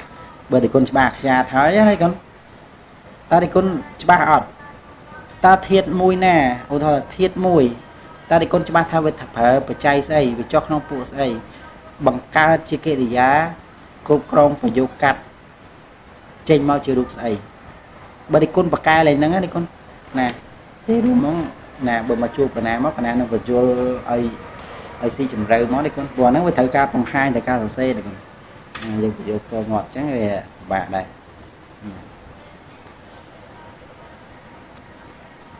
ណាឥឡូវឧទាហរណ៍ដូចជាជាឧទាហរណ៍កណានិយាយទៅតអំពីកាត់កាត់តរុកកម្មសាធនៈចោះកាត់តរុកកម្មសាធនៈ កាត់តរុកកម្មសាធនៈគេបែរថាជាទីកាត់តរុកមានន័យថានៅក្នុងរូបវកហៈនោះគេប្រើកិរិយាកាត់អកិរិយាកតវិកាណាដល់កម្មកម្មសាតែមានន័យថាម៉េចកម្មហ្នឹងវាកើតចេញអំពីបទទុតិយភពបទទុតិយភពគេហៅកម្មហ្នឹងគាត់បទកម្មណាណាដល់អញ្ចឹងក្នុងរូបខៈគេសរសេរថាពិយេតិតន្តិតន្តិហ្នឹងគឺអីតន្តិមកពីតាំងអីតិ ពិយេតិជាអីពិយេតិជាកិរិយាកតវិកៈតាំងជាអីតាំងជាបទទុតិយភពណាឧទាហរណ៍ថាគេប្រាប់ថាកូនជាទីស្រឡាញ់នៃបៃតាបៃតាមែនទេបេតារីបៃតាពេយេតិតែងស្រឡាញ់តាំងពតតាំងនៅកូននោះពីតិប្រហែលដូច្នោះណាសោពតតោរីកូននោះបេយោជាទីស្រឡាញ់នៃបៃតាណាអញ្ចឹងគេប្រាប់ថាបើកាត់ទៅរូបមានន័យថា ក្នុងវឹកហៈហ្នឹងប្រើកិរិយាកតកតវិកៈដល់កម្មសាតនៈមានន័យថានៅក្នុងនោះប្រកាសជាមានបទអីមួយដែលជាទុតិយាជាបទកម្មនិយាយតែកំពីកម្មវាអញ្ចឹងវាច្បាស់អញ្ចឹងកូនអកតរូបករណសាតនៈករណៈជាឈ្មោះសម្ព័ន្ធនៃតតិយាអីភ័ណ្ឌអញ្ចឹងមានន័យថាម៉េចមានន័យថាបើបើវាជាកតរូបមានន័យថាកិរិយានោះប្រើកិរិយាកតវិកៈហ្នឹងមួយទី2 ជាកម្មសាតនៈមានន័យថាក្នុងរូបខៈនោះមានប្រើតសៈប្រកបតតិយាព្រោះថាពាក្យករណៈជាឈ្មោះសម្ព័ន្ធតតិយាអីភ័ណ្ឌមិនយ៉ាងនេះកូនណាដល់អញ្ចឹងនៅក្នុងត្រូវមានតតិយាតតិយាបតតតិយាហើយជាទូទៅគេយកតស័ព្ទណាតេននេះណាតេណាតិយ៉ាងដែរយកមកប្រើកណាឧទាហរណ៍ថាអឺនិវាសនាងចុះវត្តខាងនិវាសនាងណាវត្តខាងរីសម្ពត់និវាសនាងសម្រាប់ស្លៀក ណាសម្រាប់ស្លៀកអាហ្នឹងបើសម្រាប់នៅក្នុងករណៈគេមានការកំណត់ប្រែណាអឺប្រែថាជាគ្រឿងណាជាគ្រឿងជាហេតុសម្រាប់ណាជាគ្រឿងស្លៀកក៏បានណាសម្ពុតជាគ្រឿងស្លៀកដែលយើងនិយាយតាមស័ព្ទសាមញ្ញថាស្បង់ចុះអាហ្នឹងគេចង់វឹកហាក់ថាម៉េចណានិវាសេតិតេណាតិតេណាតិគឺអីមកពីតេនេះបងអីតិ ណានិវាសេតិគឺអីជាកិរិយាកតវិយកៈចុះតេនេះគឺអីជាបត់នាមប្រកបតយាយផតដែលយើងសម្ព័ន្ធថាដោយករណៈណាវាត្រូវមានអាហ្នឹងណាយើងមើលតាមរូបហ្នឹងគេគេគេដឹងហ្មងមើលតែការចងហ្នឹងគេដឹងហ្មងទី1មានកិរិយាកតកតវិយកៈអញ្ចឹងមានន័យថានេះជាកតរូបទី2នៅក្នុងនោះមានតស័ព្ទប្រកបតយាយផតអញ្ចឹងអាហ្នឹងជាករណៈណាវាច្បាស់លាស់អញ្ចឹងនេះកូនណា ហើយយើងកំណត់ថាម៉េចឲ្យចាំបច្ច័យហើយតកតងពីពាក្យប្រែនៃសាតនៈមួយមួយច្បាស់លាស់ចាំរូបចាំបច្ច័យចុះក្នុងរូបហើយចាំបច្ច័យចុះក្នុងសាតនៈពាក្យប្រែនៃសាតនៈប្រែតែជាអ្នកជាគ្រឿងជាហេតុអីនៅក្នុងអីហ្នឹងឲ្យច្បាស់លាស់ឡើយហ្នឹងរូបណារូបហើយនឹងសាតនៈឲ្យច្បាស់លាស់ហើយពាក្យប្រែនៅក្នុងសាតនៈមួយមួយនឹងចាំឲ្យច្បាស់តកតងអំពីបច្ច័យ ដែលចុះក្នុងសាតនៈមួយមួយនិងរូបសិទ្ធនៃបច្ច័យមួយមួយហ្នឹងណាចាំអាហ្នឹងទៅរៀនស្រាវរៀនរៀនស្រួលណាព្រះអង្គកម្មជាក្រកម្មង្ករោតេទេជាកម្មការោនេះជាកាត់រុកាសាតនៈណាត្រូវណាត្រូវហើយកម្មង្ករោតេទេជាកម្មការោនឹងបញ្ចូលនេះផងបញ្ចូលអញ្ញបតផងណាសាតនៈវាជាគុណនាមហ្នឹងត្រូវមានអញ្ញបតជាដរាបណាហ្នឹងវាគិត ទៅលើនេះផងទៅលើឲ្យបတ်ប្រធាននៃសាធនៈនោះផងណាបើបတ်ប្រធាននោះជាជាមនុស្សបានន័យថាហ្នឹងវាវាជាជាទូទៅវាភាគច្រើនវាជាកត្តរូបណាណាកត្តរូបឥឡូវបញ្ជាក់ចុងក្រោយតិចទូណាណាដល់ម៉ោងដែរចង់សួរសំណួរមួយថាតើ អ្នកដែលមិនចេះភាសាបាលីសោះតែយើងអាចសិក្សាភាសាខ្មែរហ្នឹងអក្សរសាស្ត្រខ្មែរហ្នឹងយល់បានដោយរបៀបណាដែរគ្រូវាអាចជ្រៅនៅក្នុងនឹងដែរអត់ទេ គេមានវិធីសាស្ត្រគេរៀនយ៉ាងម៉េចដែរបើសិនជាគេមិនបានមកសិក្សាអំពីមូលនៃភាសាបាលីហ្នឹងផងតែគេអាចអីធម្មតាភាសាខ្មែរយើងវាជាប់ពាក់ព័ន្ធបាលីច្រើនកណាកណាចឹងគេមានវិធីសាស្ត្រអីដែលអត់ទេវាមិនតែធ្លាប់ដឹងកណាវិធីសាស្ត្រមានន័យថាគេរៀនគេរៀនបាលីដែរបានន័យគេមិនដែលរៀនសាលាបាលីតែក្នុងកម្មវិធីសិក្សានៃអក្សរសាស្ត្រខ្មែរគេមានមុខវិជ្ជាបាលីរៀនមួយឆ្នាំដែរអញ្ចឹងកណាមានសភៅ តែសភៅហ្នឹងបើរៀនរៀនមកត្រឹមដឹងបើឲ្យចេះអត់ចេះណាតែកណាក៏ប្រខេននេះគុណចង់និយាយថាភាសាខ្មែរមិនមែនភាសាបាលីទេអញ្ចឹងបានន័យថាมันតมันតតែយើងនឹងចេះបាលីទៅអាចរៀនភាសាខ្មែរចេះដែរភាសាខ្មែរអត់ចេះបាលីក៏អាចរៀនភាសាខ្មែរចេះដែរតែវាអត់ជ្រៅអត់ជ្រៅអីអត់ជ្រៅនៅពាក្យមួយចំនួនធំដែលខ្មែរកំចៃពីបាលីសង្កត់ក៏ប៉ុណ្្នឹងទេចឹងណាគ្រាន់តែប៉ុណ្្នឹងទេបានន័យថាបើបកស្រាយពាក្យបាលីមកចេញមក ភ្លាវមកនេះនិយាយមកភ្លាវមកអ្នកបាលីស្ដាប់ទៅមានអារម្មណ៍នឹងកវីក្បាលតតាត់មកតែបើគាត់ទៅបកស្រាយជាពាក្យខ្មែរជាវេយ្យាករណ៍ខ្មែរអាហ្នឹងវា logic របស់គាត់វាជាឯកទេសរបស់គាត់ដូចគេថាតែនិយាយតែធ្វើការតែខុសជំនាញហើយមើលទៅអត់សង្ហាទេណាតែសួរមិត្តភក្តិសួរលេងគាត់សួរថាមនុស្សប្រុសយើងសង្ហានៅពេលណាគាត់ថាហេសង្ហានៅពេលនេះសង្ហានៅពេលនេះពេលយុគៈក្អៅហំហានអីចឹងទៅ ហើយគេថាហេអត់ទេនៅជីប្រុសយើងសង្ហាបើទោះបីជាគ្មានខោអាវហំហានអីក៏ដោយតែមើលទៅសង្ហាមកសង្ហានៅពេលណាដែលធ្វើការត្រូវជំនាញមែនទេកូនឧទាហរណ៍ដូចកណាគ្រូបល័យឲ្យទៅកាប់ដីទាញជាប់កាប់ដីចេញមកឆ្កងមកទេណែហើយបើហៅអ្នកកាប់ដីឲ្យបញ្យលបល័យគាត់ទៅកាន់ហ្វឺតមកឆ្កងមកបាច់និយាយដល់នេះទេបាច់និយាយដល់បញ្យលទេវាចាស់នេះកូនតែបើអ្នកកាប់ដីគាត់ គាត់ថាកាន់ជាប់មកមើលទៅសង្ហាទៅនឹងអូនយាកាប់អីមកទៅទៅណាដល់លក្ខណៈគ្រូគាត់កាន់ហ្វឺតសំដឹងថាអ្នករៀនអ្នកសរសេរអ្នកអីចឹងនេះកូនដល់សម្លឹងមើលទៅកាយវិការគ្រប់បែបយ៉ាងសង្ហាមកកូនវាអញ្ចឹងនេះកូនណានេះយើងនិយាយសួរស្ដាប់មានន័យថានិយាយត្រឡប់មិនមានថាធ្វើការបើត្រូវជំនាញណាទី1ការងារហ្នឹងល្អទី2លទ្ធផលមកគឺអត់ខ្ចោះណាបើត្រូវការធ្វើត្រូវជំនាញណា